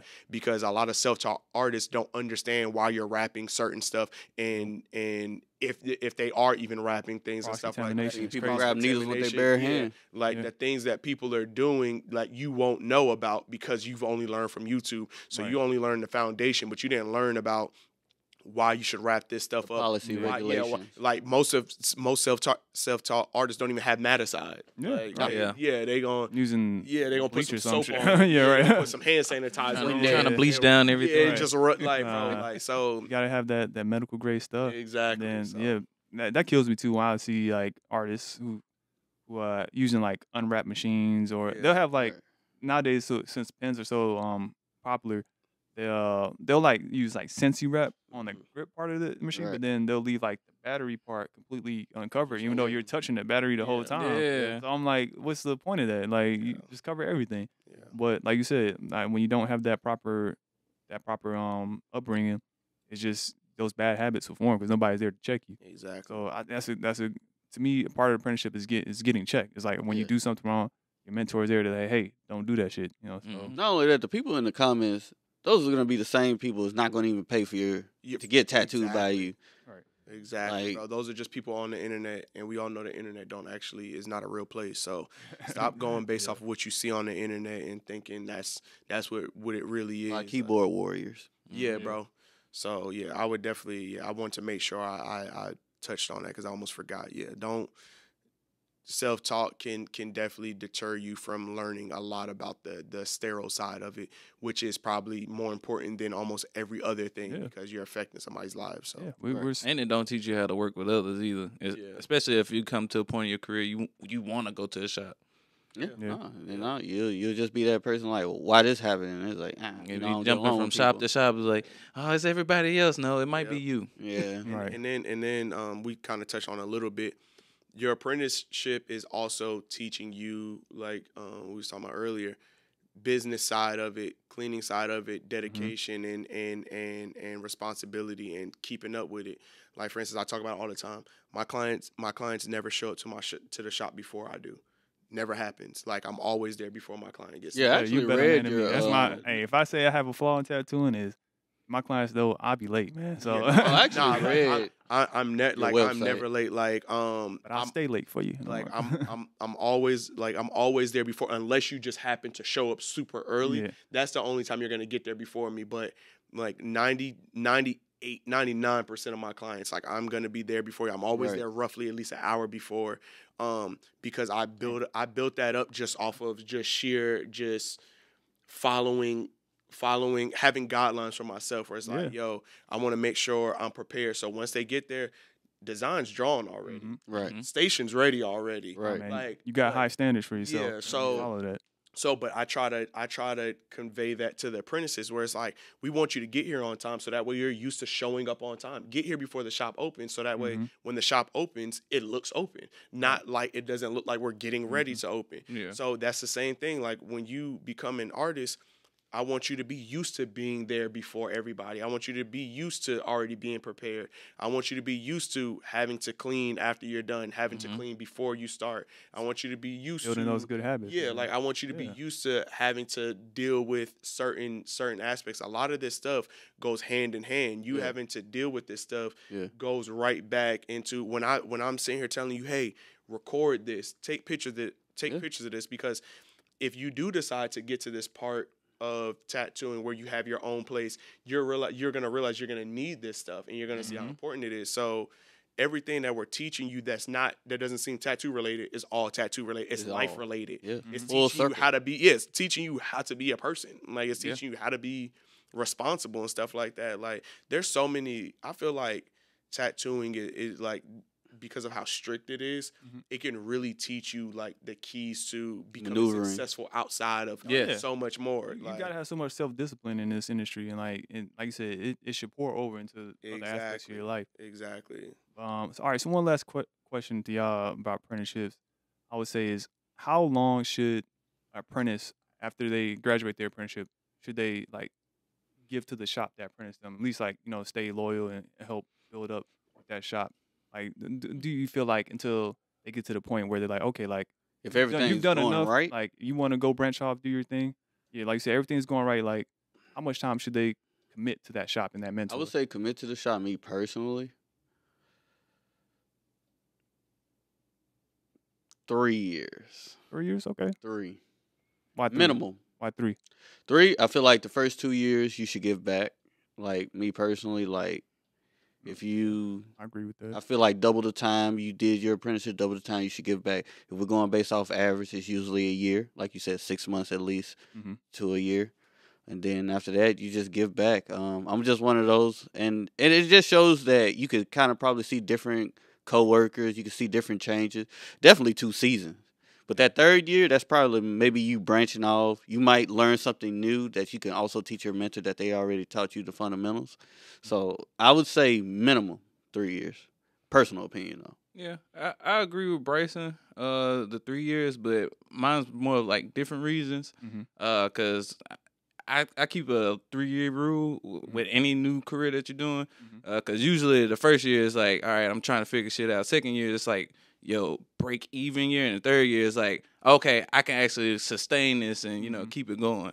So Mhm. I, that's why I, I would say three years, just to know if this is the thing you actually need to be doing. Right. Okay. Uh, but I did have one more question. I did kind of think of that. Uh, as two apprentices sitting in front of you, Theo, what have you learned from us throughout the years that Oh, We've been sh- I mean, a lot, man. it's, uh, like Tez was my first apprentice, right? Um, ever. So that, like, I'll be honest, like I was kind of like winging it. so, Mm. um, it was Good thing I'm a visual learner. yeah, yeah. so like I said, you um you were already like very mature in your mindset, so I really didn't have to like motivate you to do anything. Um, it was just more so uh giving you the knowledge to be be successful, right? Mhm. Um, and with Bryson, your apprenticeship, um, but like honestly, like I said, you you was just I didn't have to do much outside of what uh, you know was required because you you already wanted it so bad. Like you you are had that work ethic in you, um, and you just to me, I would say both of y'all. What y'all showed me is like it's okay to um to to pour into to people and to trust them to to take care of your baby, right? So, because to me, the shop is my baby, right? Right. Uh, you know, I, I- my actual son, I got a baby now, but so it's shop second, right? so, Lenny, second- Lenny. but- You. Second son. Second but uh, but like, Shout out to Lenny. all right, shout out to Leonard. Mhm. Um, Shout out to Lenny. but but like I said, I y'all been with me and y'all been through the ups and downs and like you, you guys know you guys have the same vision that I got, right? Mm. So that's why I, I trust the shop in, in y'all's hands. Like when before, you know, I, I wouldn't want to leave the shop more than like a day or two. You know, I wanted to be there all the time because like, all right, I gotta make sure everything's getting ran right, right? But now it's like, okay, like I know like Ted's there, if Bryce is there, like things are gonna be getting ran the right way because yeah, we, we all care about this the same. So Mm. um to me, yeah, I, I just learned how to, to trust and delegate Mm. um with y'all. That's that's the biggest thing I've probably learned. What are you? That's hard. That's hard. Yeah, man. Like I said, like when. Like when you get your good people come through, man, it, it could definitely Yeah. it could it could help change the shop for the better, man. So especially knowing how rare it is to like find that. Like that's that, yeah, that's great. yeah, it's it's like I said, it's it's tough to find, but Mhm. I- that's one thing I am very particular on, on like people I bring in. Um, I would say that's the hardest thing is like to to be picky because like a lot of times you'll come across people who like they show a lot of potential and like you know everything sounds good at first, but then it's like once I kind of see them more in in the environment, and I kind of get more of a feel like okay, like like I start to see your flaws now. Like Mhm. okay, like uh, like I don't know, like like maybe we could work this out, maybe not. I don't know, but um, so that's the biggest thing. Is like don't when you when you see those flaws start to come up, like don't be afraid, like as a mentor or as an owner, um, to be like, all right, like I like you, but I don't know if you right for Yeah, us. Like you as a person. Yeah, I Mhm. feel that. Um, for me, in terms of uh, how long I feel like somebody should stay, I think mine is very situational. I think my biggest thing, especially like where I'm at now after going through so many different situations of it, I think the biggest thing is just like your capacity of how you're giving back while you're there. Like, how was your time? Mm. spent? How impactful Right. you Yeah, are. how Yeah, impactful that's that's like a- because what and this took me a long time to realize so i can speak on like from a personal experience when i started getting popular as a tattoo artist i got clouded like my ego took over and everything was elijah Akeem tattoos like Yeah, but elijah sis- Akeem this elijah Akeem that it wasn't it, didn't- it was no longer about Inkorporated anymore it was like okay how big can i become because i'm the Mhm. brand i'm the face i'm Mhm. this or whatever Yeah. so I went through a time where everything was about me. I wasn't I, I didn't think of the the large the I didn't see the large picture or Mhm. whatever. So now my biggest thing is like how are you creating opportunities for those around you or whatever? So if this place gave you your your foundation to be able to be who you are, Mhm. if somebody hypothetically, and I'm not saying this is a requirement, but if somebody's like, yo, I want to do an interview with you and you do a full interview and never bring up the shop, or or Yeah. if if it's just like when opportunities come your way, are you trying to extend those opportunities saying, hey, I got this opportunity. Right. Do y'all want to be a part of this? Or, oh, I want to do it. Is it cool if I bring them? Yeah. Or No, or like I see something on the internet and I'm like, oh, this is dope. Let me tell them at the shop, Yeah. oh, I learned how to take better pictures. Let me s- spread this knowledge Exactly. rather than, Yeah. oh, I learned about a. CPL filter Yeah. in the in the filter and all this other stuff. But I'm just going. right, you don't want to take I'm, I'm, pictures. I'm, gonna wait till they ask about it. I'm not going like if Nah. if if you're constantly learning, or if like for instance we talking about the like the reviews and stuff. Mhm. Try to help us get reviewed. like little Right, stuff yeah. like that. Show that you care about where you are, Exactly. and then if you decide to go, I know your time here. You you left it. Yeah, You left you this to- environment in a Mhm. better situation than what Mm, it was when you got here. Mhm. But if you if you come and then you leave and then nothing came from you being there, then it's just like and it's like and it's not me even I wouldn't have like any ill will towards like people that that have that because they might not know any better because Yeah, they might not know. a lot of times it happens Oblivious. through experience. Like I Right, said, it yeah. wasn't until I experienced it when I learned it. Yep. So I went through the same situation where I only cared about myself. Like I didn't, I wasn't worried about no other artists and all this mm. other stuff. I was like, yo, it's about me, right. stuff like that. But I just feel like if you're impactful to the shop, then there's really no time limit on it. Um, at, uh, well, I'll say at least at, at the bare minimum a year if you're Yeah, yeah, actually I'm- focusing on the shop throughout Yeah. that whole year. Mm. I would say longer. I in my mind, it's like why not be like, yo, I want to start my own shop. Mhm. Would y'all be cool if I made another version Right, of this shop exactly, or like, whatever the partner case is? together, right? Partner, Yeah. partner Yeah. together, like or like, stuff like that. Like why not? If you if if you you, truly yeah, if believe you, into- if you yeah. truly care about like the Mhm. people that you're around and stuff like Mhm. that, then like, yo, you know what I was thinking? I really want to do my own thing, but can I or whatever the case is. But if you're just saying, "Oh, I don't want to tattoo no more," that's completely different. But Yeah. I just feel like there should be there should be a thought process and like, yo, and that and that and that's not a requirement. I'm just saying maybe just like, just content. Yeah, yeah, yeah, just more- think about it. Just think about it. Like, yo, but um, at the very least, it doesn't matter. Just like just care about the shop. Right. Just want to give back to the shop is enough for me. Yeah, That's that's that's, um. Well, I can actually. Theo heard me say this a bunch of times. It's actually the shop first, then it's Theo, Yeah. Mm-hmm. then anybody else under Yeah. that. hmm Yeah, Yeah, nah, that's how- that's I how I always the same way that. too. Like I'm always trying to push the shop Yeah. before I Yeah. push myself. Like even like s- if I give any advice, I guess that's it's not even to like apprentices, but it's like people If who the want shop grow, yeah. you grow. exactly Yeah. like and that's for everybody Yeah. in the shop. Yeah. so it's Exactly, like yeah. we're all we're all washing each other's hands. Like it's not Mhm. like I'm doing everything just so I can be bigger. Yeah. Like Then we focus on our strong suits. Like me, I kind of like focus more on inventory. Like mhm, I hate running out of stuff. Like yeah. yeah. like Yeah, capital. he H helps me on that, you know. So Like- it's we all we all you know what I'm saying can contribute in different ways, you know. Yeah. But like you said, if you if you help the business grow, it's only going to help your pockets in the long run. Exactly. Everybody, like, so it's like that's it. That, Yeah. that's literally how I think. yeah. So uh, unfortunately, you know, a lot of people in the industry don't have that mindset. It's, it's all about like We'll said, figure we it all go out. that me me phase. Like, Yeah. Yeah. but sometimes we in the people same building, but it's yeah. about me though. Yeah, Yeah. exactly. some people wake up and realize like, okay, like you know what, nah, it's, we're we're stronger together.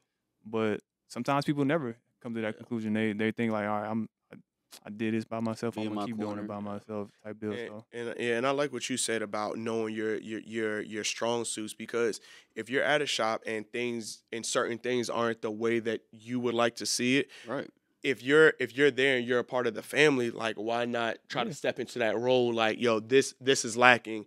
Maybe I Yeah. can help here. Mm. So many people get concerned with, oh, I'm just the artist here. Right, So I'm not oh, doing Yeah, a lot of people don't. I'm just yeah. the artist here, Yeah. so I'm not I doing just come that. tattoo, well, you they, know, they, yeah. they- they- you you own it, so you should pay attention to that and stuff like Mm-hmm. that. And like, Mhm. and I've seen that happen, and we still kind of go through it every now and then. And we'll Mhm. have talks about it where it's just like, yo, like I mean, if, you, if you have an issue, like let us know because maybe Yeah. we don't even see the issue because we're so Yeah. focused on yeah, thirty other things. Yo, just just bring it to us, and then if we can uh, if we can fix it, we'll we'll do our we'll do our best to fix shop it. Shop owners are human too. You know, so they have flaws and they make mistakes. So it's like I said, just communicate. yeah, for sure. But um, but yeah, that's that's a great talk, man.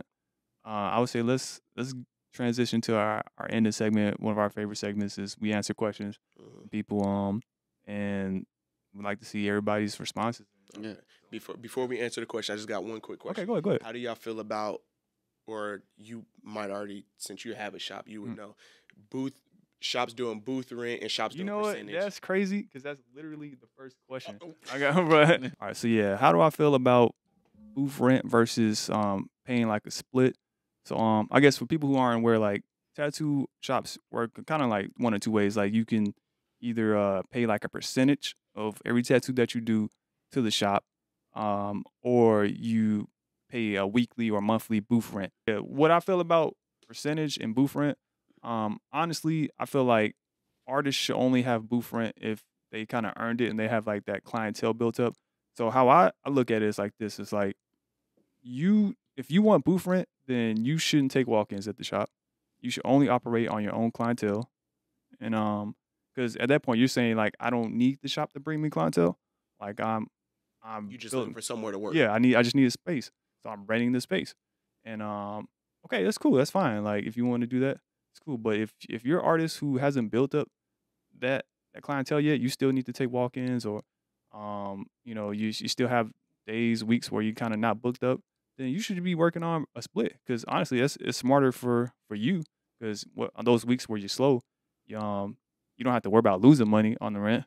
And then um not only that, but you're you're taking in walk-ins now and you can build up your clientele that way. So I feel like like, do I feel like certain shops give unfair splits? Um, yeah, I mean, I do Yeah. feel like the 50-50 is kind of outdated. Um, I, I feel like for, you know, apprentice coming out, yeah, 50-50 is expected, like at least one year 50-50 Yeah. just to, I um, won't go too, too too deep, but I like how you do your contracts on the percentage. Yeah, yeah. So yeah. and that mean- keeps me on my toes. I kind of to give a brief explanation what he's saying. Like I kind of give like, all right, you can earn a higher percentage based on like Mhm. what you bring in. You know, like so if you reach a certain threshold, then you get keep it Yeah, you get an increase in your your your split because you're you're bringing in more money, so you're gonna make more money.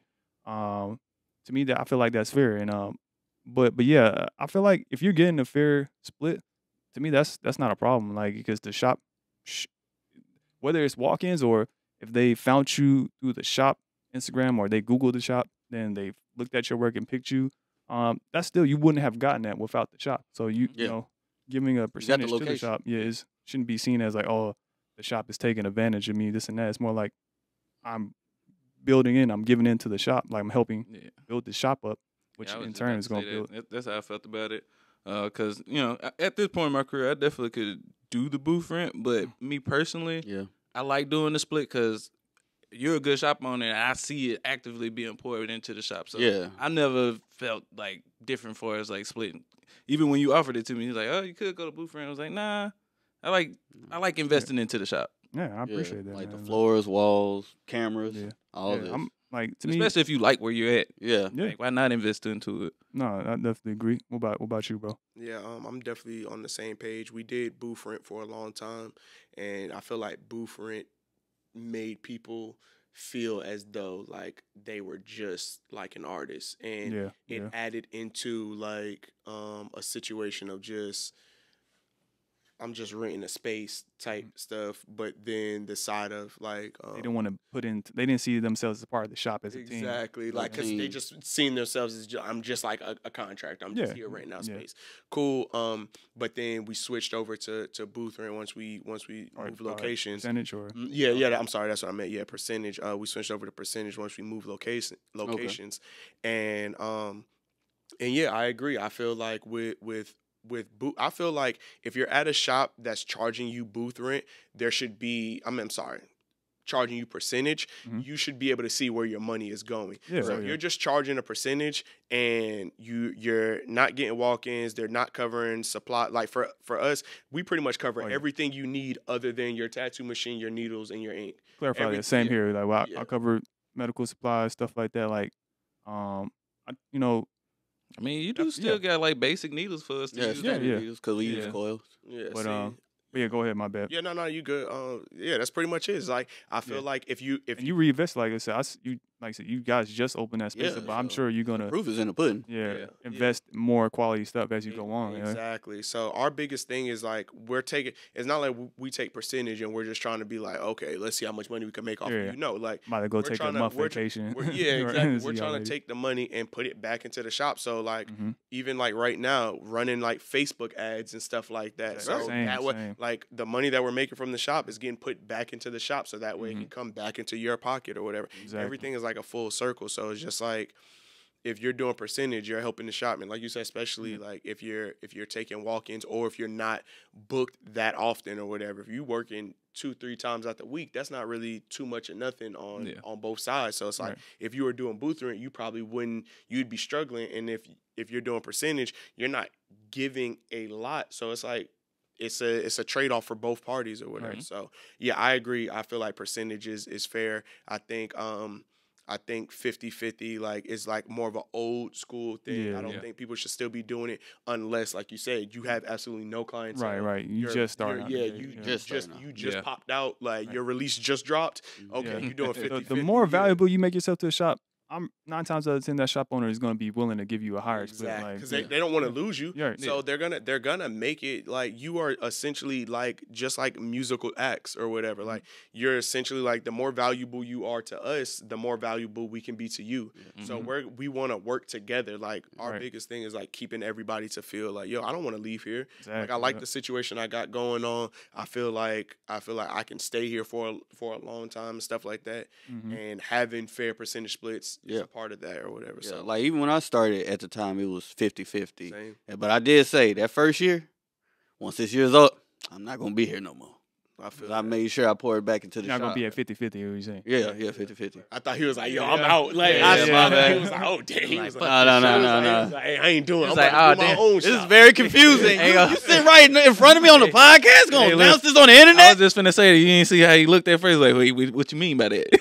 Bro, I don't know if you're gonna be able to see it in the camera. Like my eyes darted over when he said that. I was, he was like, oh damn, shit. Bryson was- over here plotting. That was- That was that. Threat- like, Not I gonna did be in this I did ratio That meme field. from back in the day where the dude was blinking extra hard. What did he say? Dang, I was like, all right, Yeah. but yeah. All right, let's go to our next question. Um, let's um, I'll do this one. Um, have you ever tattooed someone with bad hygiene? Yeah, who wanna go first? Right, Bryson, I, I think you got. Hey um, man, I don't even want to tell that story, man. um, Yeah. the short answer is yes. I, Yes, we all yeah. have. Um, But it was so bad that yeah, uh, yeah, it's honestly, my thing is I like, definitely had. I can actually say I have ten. I, I actually keep count. Out of the three years, I haven't been had 10. a terrible, card you done terrible, but recently, I, I done smelled some Oh, sticky feet. yeah, yeah, stinky I've feet is definitely. That The, a couple times. Yeah. Yeah. I didn't even think about that. Yeah. but um, yeah, stinky feet or just, you know, I I don't. It's like one thing, like if you you could tell if someone put deodorant on and it just wore out, like through Yeah, the session, like that's cool, I understand. But like when you come in out the You the like, that don't on yeah, like, all right, said man, you to- aluminum. Went to PE before you came Like, here. Like, if you know you about to get your body worked on in a certain way, like just take a shower and then put some deodorant on, man. I, but um, thankfully, most of the time, we, I, I we don't have to deal with that. Like most clients are, are pretty good with that. I would say. Yeah. Um, yeah. Can I give a a, ran- a random tip that has nothing to do with hygiene, but just as a Yes. client, um, if for instance, like you're coming to to get your leg tattooed or something like that, don't wear the tightest jeans you own. Like wear something that Oh, makes yeah, it Yeah, easy that's- don't want to the to That'd be location killing chest me, of the man. tattoo. You came in with a turtleneck. Yeah, like, like like and then and then on top of that, like of course we're not being creeps. We're trying to do our job. So Mhm. like if you're gonna do that, be comfortable with letting like taking it Yeah, off. you gonna have to. But like, don't try to keep on like, like oh y'all went on my thigh and then Yeah. keep your pant on and try to hold it to the side. Like there's just, like we should have been prepared. Like, Yeah, or like- either, like, and you that's know, what made yeah. me think about Yeah. it. You saying like, yo, you know you're about to get tattooed. Wear Right. deodorant. Like Yeah. that made me think about that. Like Why you, know you're wear about- this whole one piece? Right. Like, you getting your thigh tattooed. Now you gotta be up here naked. It's like ah, Like, did you don't make it be- weird now. Like, Exactly. Did you want to be naked, or did you think that we were literally just gonna find a way to pull it to the side? No, Like, it doesn't work like that. I I got So- these scissors. I'm gonna cut it if you want me so- to. I just over. yeah, I just wanted I just wanted it was just on my mind. I wanted I wanted to bring that up. All right. Um. Well, this one, I mean, I'll ask this one, even though I'm pretty sure I know what most of you would answer. Is uh, which which one do you prefer? Do you prefer color realism or black and gray realism? Color realism. Color. Oh, okay. Y'all shocked me on that I'm one. lying. Oh, I was- like- I'm lying. No, I actually like like. all right. So you like they, doing they it, saying or you- tattooing it. Yeah, tattoo wise. Yeah, I like. I actually enjoy it. Oh shit, you Yeah. got It's it. just a boy. long process. So why do but- you enjoy it? Why don't you? I just like color. Like I it's- mean, I will say, yeah, color like, it's nothing deeper than tattoos that. do have I like actually a, a enjoy pop to it. Um, that you know, black and gray won't have just because those bright colors will hit you if it's done right. But it's Well, going to take longer to see. yeah. the- but you do have to educate your client. The black and gray realism, that's going to be whatever black and gray is with color. Just know it's going to be three times as long. Yeah, Like, it's, it's, it takes forever and yeah. all that white. so I actually enjoy doing. it. cleaning out your needles, I mean, blending. y'all see me. I be here twelve Um, hours. So Yeah, All of that. I ain't gonna lie. I did do the squint out when you said color. I went what? Like I just I don't know. I just feel like, and then part of me is like, I don't think color real. I mean, uh, black and gray realism is harder, but I think people forget that sometimes it's harder to make things translate Yeah. as doing black and gray. Like for instance, like I had a piece the other day where she wanted um, a dagger going through flowers with bees and the dagger to be covered in honey, and I'm like, I can't make it look like honey because I don't. I can't Yeah. use color. So with with black and gray where we have to really make things transfer or translate as a tattoo without the use of color like if i was doing a landscape if i put blue in the sky you instantly know it's a sky right. but with black and gray we have to figure out how do i translate this as sky that's or true. My So- my biggest thing is, especially since we mostly tattoo on darker skin tones, the color realism. Hey man, finding them, di- especially if you're doing like a color portrait, finding them right tones that like separate from the skin. Exactly. Yeah. That is gotta have, like- stressful. Yeah. i ain't never did a color portrait in my life so i can't, Yeah, I can't imagine It, it, it's like not only do you have to like worry about the whole technical side of like blending in, saturating right. But now, like you said, like all right, I gotta make sure I pick the right tones that's gonna hold up over mm, That's time. gonna like- match with the undertones. Yeah, because you can't go just straight up what you see. Because like, all right, nah, if I'm working on melanated skin, like I need to have a darker darks and like lighter lights, you know, to kind Yeah. of really Right. get that that pop. See, I wouldn't know nothing about none of that. Yeah, I mean, it's it's it's tough. I mean, like I said, black and gray has its challenges too. Like you said, Yeah. like there's certain things that just Like- don't translate well in Yeah. black and gray. Mm, yeah, and black gotta- and gray, in- in my opinion, is just a little less forgiving mm, because Yeah, you can very blend a different color into it and switch it up.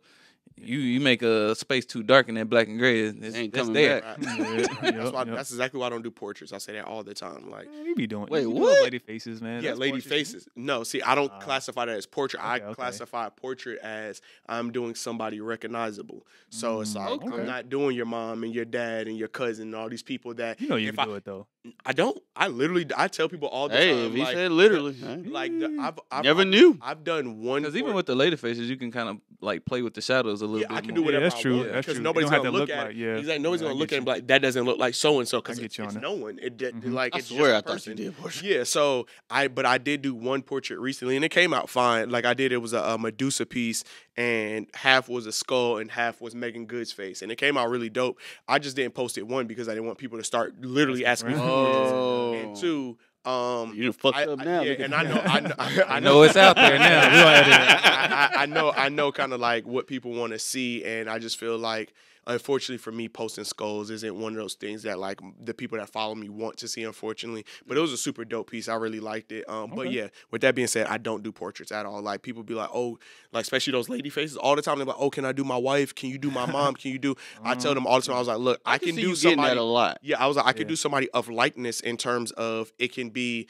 uh, black fa- yeah, black yeah. black facial features. Try to pr- uh, focus on Yeah, those facial okay. features, but I'm not doing this person because if I shade the nose a little too dark, it's not the, the right person anymore. If I shade the, the lip too dark, if I make them a little bit too round, no longer the same person. So to me, that's too much. That's too much pressure on me, I especially if understand, it's like a memorial piece or something like Oh that. yeah, I just it's tough. yeah, I can't. I can't. You know, can't it's those. it's crazy. Uh, speaking about like you and your businesses, it's funny how even your style has bled even over into this shop in a Mhm. sense of.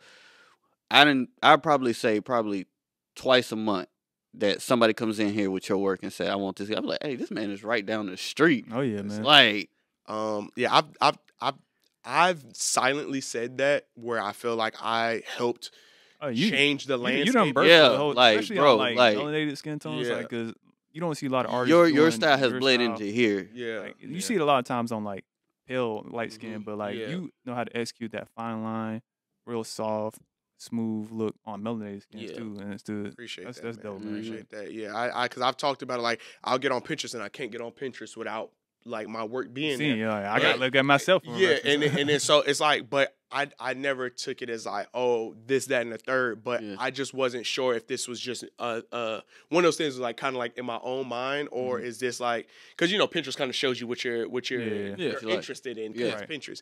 So I wasn't sure if it was like a real thing, but yeah, I felt like I kind of ushered in a a new not a new style by any means, but Yeah. like the fact of I don't feel like people were tattooing um even just black like black representation that Yeah. much. Yeah, I exactly, started yeah. doing like- Innovating. you like like, people weren't using like I used to when I was doing faces on people. Mhm. mo- Most of the time they used to be white at first, and then Yeah. one day I was like, bro, like I was like, yo, why is there not black faces Yeah. on people? So Right, I yeah. started doing, I started just taking a style that already exists, and I was like, yo, let's just put black faces in all of them every Mhm. single time we Yeah. can.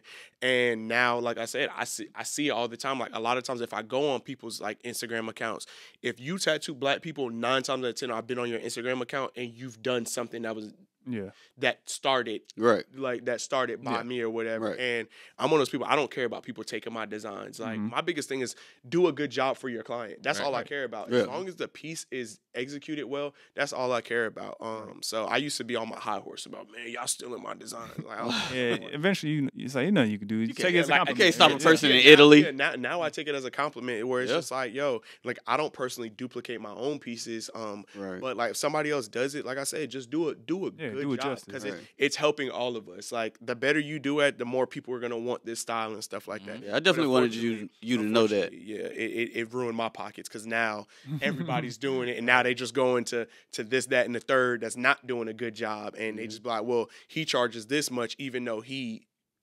started it, Mm. so he's overpriced. They look at me like I'm the overpriced person, even though They'll learn when they gotta get that cover up. yeah, down the line, yeah, so, yeah, they're Why not- it didn't come out like this? Go ahead, tell him you don't do cover ups. Oh, like I was literally at um um Music Midtown or whatever it was that uh that uh music show they had in uh Piedmont Park uh, last year towards the end of last year.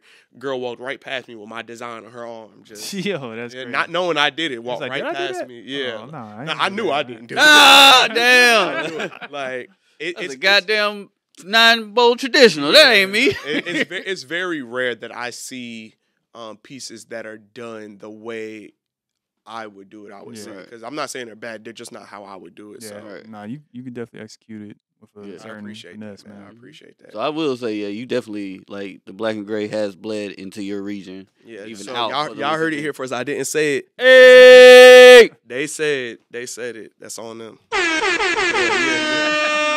I didn't know what that button do. I like that. That ain't the yellow. one. All right, uh, we got time for one more question. Um, this is a fun one. Um, which celebrity would you offer a free tattoo on, or like which celebrity would you just love to do a, a tattoo? Gabrielle? Union. Okay, that was quick. So uh, what's up? With, what's up man, with you know, everybody, everybody ain't no secret. Gabrielle Alright. Union. About D Wade, he gonna be standing right over your shoulder. You, you cool with that? He be alright. Okay, That's all right. all me. It's Tom Hanks. I got y'all. Help me out. What but yeah. I will say, um, celebrity, you know, I always thought differently, and I've always said this. Like, even coming into the tattoo industry, a lot of people be like, wanted to be the next celebrity tattoo artist. Like, they want to tattoo LeBron Mhm. or maybe Michael Jordan. I'm actually trying to get better in the sense of I want to like tattoo LeBron's son. Like, I'm trying to work on the next generation. So Okay. when these young guys who's going to be in the NBA, they're going to have great tattoos. But what gets on me is some of these celebrities getting the worst like got the. Oh, worst yeah, the tattoos, worst. and hopefully about this all the time. the in the investment of tattooing within the next three to five years, that the younger crowd can say, "Yo, my dad had a fucked up tattoo, but these new artists they they can provide." So I always say I don't look at LeBron, I look at LeBron's son. I want to add on that real quick. Part of this is what I believe. Part of the reason why a lot of the the celebrities and stuff like that don't get the the best tattoos, even though they can afford it, is because for at least this is from my perception of it, they don't. They most people don't understand Right. what the difference between a bad, good, and a great Mhm. tattoo is. Right. Yeah. And I always say this all the time. There's a hierarchy of like tattoo artists that for us we would have so many levels to it, but for the for the general population, it's literally people that tattoo in the crib, Mm-hmm. people that work in a shop, but they're they're cool. The good artists and then the great artists, and Right. that's it. So a good artist can literally be anybody from all of us, all the way down to somebody in their first year of Right, right. tattooing. And There's so- tiers amongst the tiers. exactly. Yeah, yeah. so for for for for the outside world, everybody's just a good artist. So Right, right. Yeah. w- I'm no Consumer better, that, and that's why I Yeah. said what I said earlier. I'm no better than the person that's taking my design and creating and is not doing as good of a job as me because they don't see all those Yeah. fine little things Yeah, that go Nuance. into making it what it Mhm. is. So in their mind, they still like instead of paying me what I charge, them paying what they paid was still 100 percent worth it to them because they don't understand The the longevity, the the, Yeah. the the small details, and all those other all those other things. And then though there's the people above that are, that are like Mash Cow and Right. and um Steve Butcher. and, yeah, Steve them, Butcher, yeah. and those are the upper echelon where yeah. nobody can deny how great Huh. they are. That's, that's, So that's a great way to put it. That's the reason that's how I why always you look at see rappers and celebrities and stuff get tattoos that we find aren't good. Mhm. But the people, their fans and all those other people and the artists and stuff like or um and the the the clients like the LeBron James and all those people, Yeah. they don't know that their tattoo isn't as good as it could be if they did more research. Yeah. And that's the reason why And they, they we, probably we got be like, yo, why'd you go to them? It's because Yeah. they don't know any better. Right. They have no idea. They got yes Mike men Tyson around them, did so get they a like, good yeah, one, that's a though. dope He got a tattoo. nice tattoo you on his yeah. chest. Mike Tyson. Mike Yeah. Tyson. Look like he did his He research. started off Oh, getting bad tattoos, yeah. but now he's getting good work. Yeah, yeah. yeah. Yeah, I, I noticed that too. Now some of these celebrities who started just getting crappy tattoos, now I guess they finally realize like, oh, like my tattoos suck. Like they, Yeah. now- now they're starting to get better work. Mhm. Um, but so says you got a celebrity you you would tattoo free or not? LaMelo You know- Ball got some good tattoos. Who? Oh, what is it? LaMelo Ball. Yeah, some. Uh, It's, Yeah. trust me, it's, it's You better. You It's know, better than I- most. I'm As far sorry. as Yeah, like I'll say. celebrity wise, like I'm one of those few people that don't really just like look at celebrities like that. yeah, I could I could like uh, attest to that. Like, yeah, you're not really like a big big on celebrities. Yeah, I'm trying. like would it, would if you come somebody- into the shop and get tattooed, it don't matter who Oh, yeah, you. for me, like, yeah, Hey, hey, look, I'll Trae Young honest, yeah, I'm, a, I'm a in. huge Hawks fan, so Atlanta fan in general, yeah. But um, yeah, I, would- I would love to just tattoo like A Hawks player. Hawks player. But really, that's a like if I get like a superstar like Trae Young, like that'd be dope. Cause then Theo be he's gonna be in grilling up here, commercials, he'll be everything. But um, Trae Young, if you watching this, Yeah. Hey, hey, this, this how it happens, shout out, man. shout out Ice do it. Trader Gang. Yeah. Right. Uh-huh. Um, nah, that's hard. Mm, I Right. think I think for me it depends on what comes with it. Am I just tattooing them because it's them, or am I Mm. planning on is it gonna give me some type of exposure? Because I'm Right. I'm not sure if y'all have tattooed celebrities before. I've tattooed some before and nothing came of it. So it depends. I will say it I had a depends on, like, little. yeah, it depends on what I'm getting out of the Yeah. situation. Yeah. So if I'm just Yeah. tattooing somebody, it's just let's say more for like you're a fan, like you're just a fan of this. Oh, a fan? Just enough to say like, Okay. well, I got to tattoo Oh. this person. I look up to it type deal. It probably wouldn't make sense, but Or if you I just- you tattoo on Morgan Freeman, that'd be dope. Okay. Yeah. That skin texture, I'd be like, I- Yeah. You say like, damn, I tattoo Morgan Freeman. Yeah. So so like for instance, right? This is this is why it's kind of hard, right? Like if I was gonna be able to get some type of exposure off of it or something I know I could Mhm. use, it would probably be like something like Beyonce or something like that. Yeah, because that's Because worldwide Beyonce- exposure. Because Beyonce is is so is They got a so elusive yeah. that that Oh, like yeah. most people can't get to her. Like like, most have people don't know she already has clients. tattoos. I didn't even know that either. Yeah. Exactly. So to be able to say, yo, I've tattooed Beyonce, like of course most people are gonna think like Drake and, and Justin Yeah. Bieber and stuff like that, but they already getting tattooed. Yeah. So whatever. But to say you tattoo Beyonce, like you would have to be Mm, like people are automatically gonna rank you Kinda like, higher uh, Stephen Curry. because Stephen she Curry chose you. it. Yeah. Um, one of the girls I follow actually tattooed Stephen Curry. Um, yeah, I, I saw her. um, but so if but if I'm choosing somebody just based off of like me being a fan or something, hmm, You're definitely Morgan Freeman for me then. mm, just a fan. I, man, I'm a fan of a lot of people. Right. It's tough. That's tough. Um, Who they can't talk bad about. You be like, hey man, chill out. damn, that's a tough one. I'm not Yeah. gonna lie, bro. Like, cause there's I mean, think about it. It's yeah, hard, like, It's hard, oh, man. That's, that's hard. Okay, but I like to say it's but if Well, exposure wise, Beyonce though. Yeah, yeah. For like, if we're going, if we're Okay. going exposure, That's something like that, like yeah, Beyonce, um, super fan. Um, damn, I don't know. That's tough. That's really tough because there's got to be somebody like, oh, I would tattoo T Pain.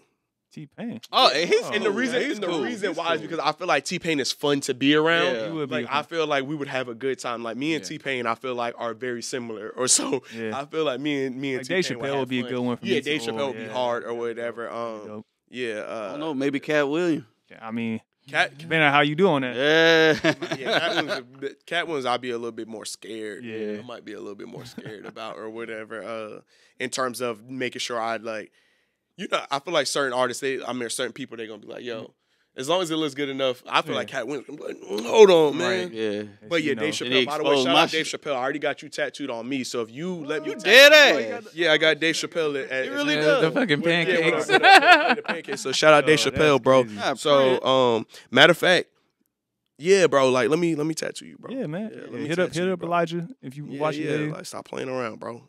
Stop playing, bro. Shout out Dave Chappelle, man. Shout out Dave Chappelle, bro. But uh, but yeah, man, that's I say, man, we we had a good episode, man. We got Sure. more than the, the usual amount. So Yeah. um, if y'all been watching, I want to thank y'all. Go ahead and hit that like and subscribe button. I want to thank Elijah, bro, for, for coming out and being our guest today. yeah. Can I add Uh, something? Yeah, go ahead, go ahead, bro. Real. Appreciate that. I appreciate that. Flowers, man. Nah, nah. We what, what button was that? Uh, The yellow one. Yeah. Yellow one. All right, yeah, we need to hit that yellow one more one more time for uh Theo. I'm gonna tell y'all Yeah. something. I'm gonna tell y'all something uh that mm, of course y'all probably don't know because why would you?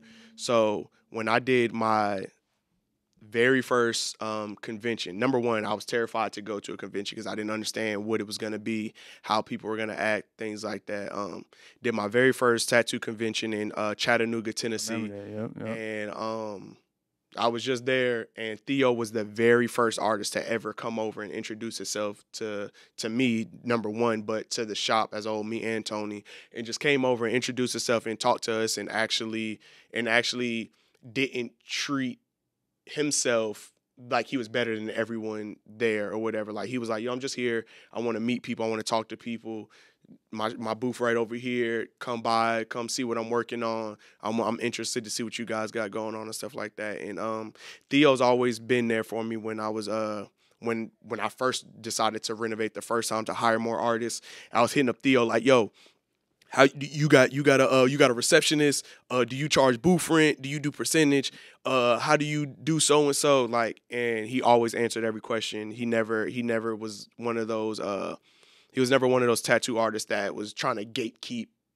Man, I I appreciate all that, bro. Like like I said, it's I'm I'm just proud to see like of where like y'all already doing your thing when I first met you, but to to see where you at now and you and, and Tony man is is is crazy, man. And I just I just um love to meet artists who are passionate and, and just want to to put their all into this industry because I'm the same way, man. So uh man, thank you. Like, thank you again for coming. Thank you for those kind words, bro. Appreciate you, Like I said, you know, if you ever need anything, bro. Like Yeah. I got you. We got you, man. Like I we, appreciate you. like man. we, Yeah, we're yeah. family in this industry, man. Oh, It's- yeah. it's- we gotta, you know, a lot of artists kind of look at everybody as like competition, this and that. Like, nah, bro. Like, we gotta, we gotta help each other. It's more than enough for all of us to eat, bro. So, again, man, I'm proud of you, bro. I appreciate you, man. First first podcast for 2024. Hey, Yeah, Yeah, man. yeah. let's Yeah, man. You know what I'm saying. And of course, Yeah, we're yeah. tattoo artists. Of course, we'll have Elijah Akeem on the first podcast of Oh, 2024. yeah, yeah, yeah. Show that. Yeah. nice, man. All right, we out, y'all. All right. Peace. Peace.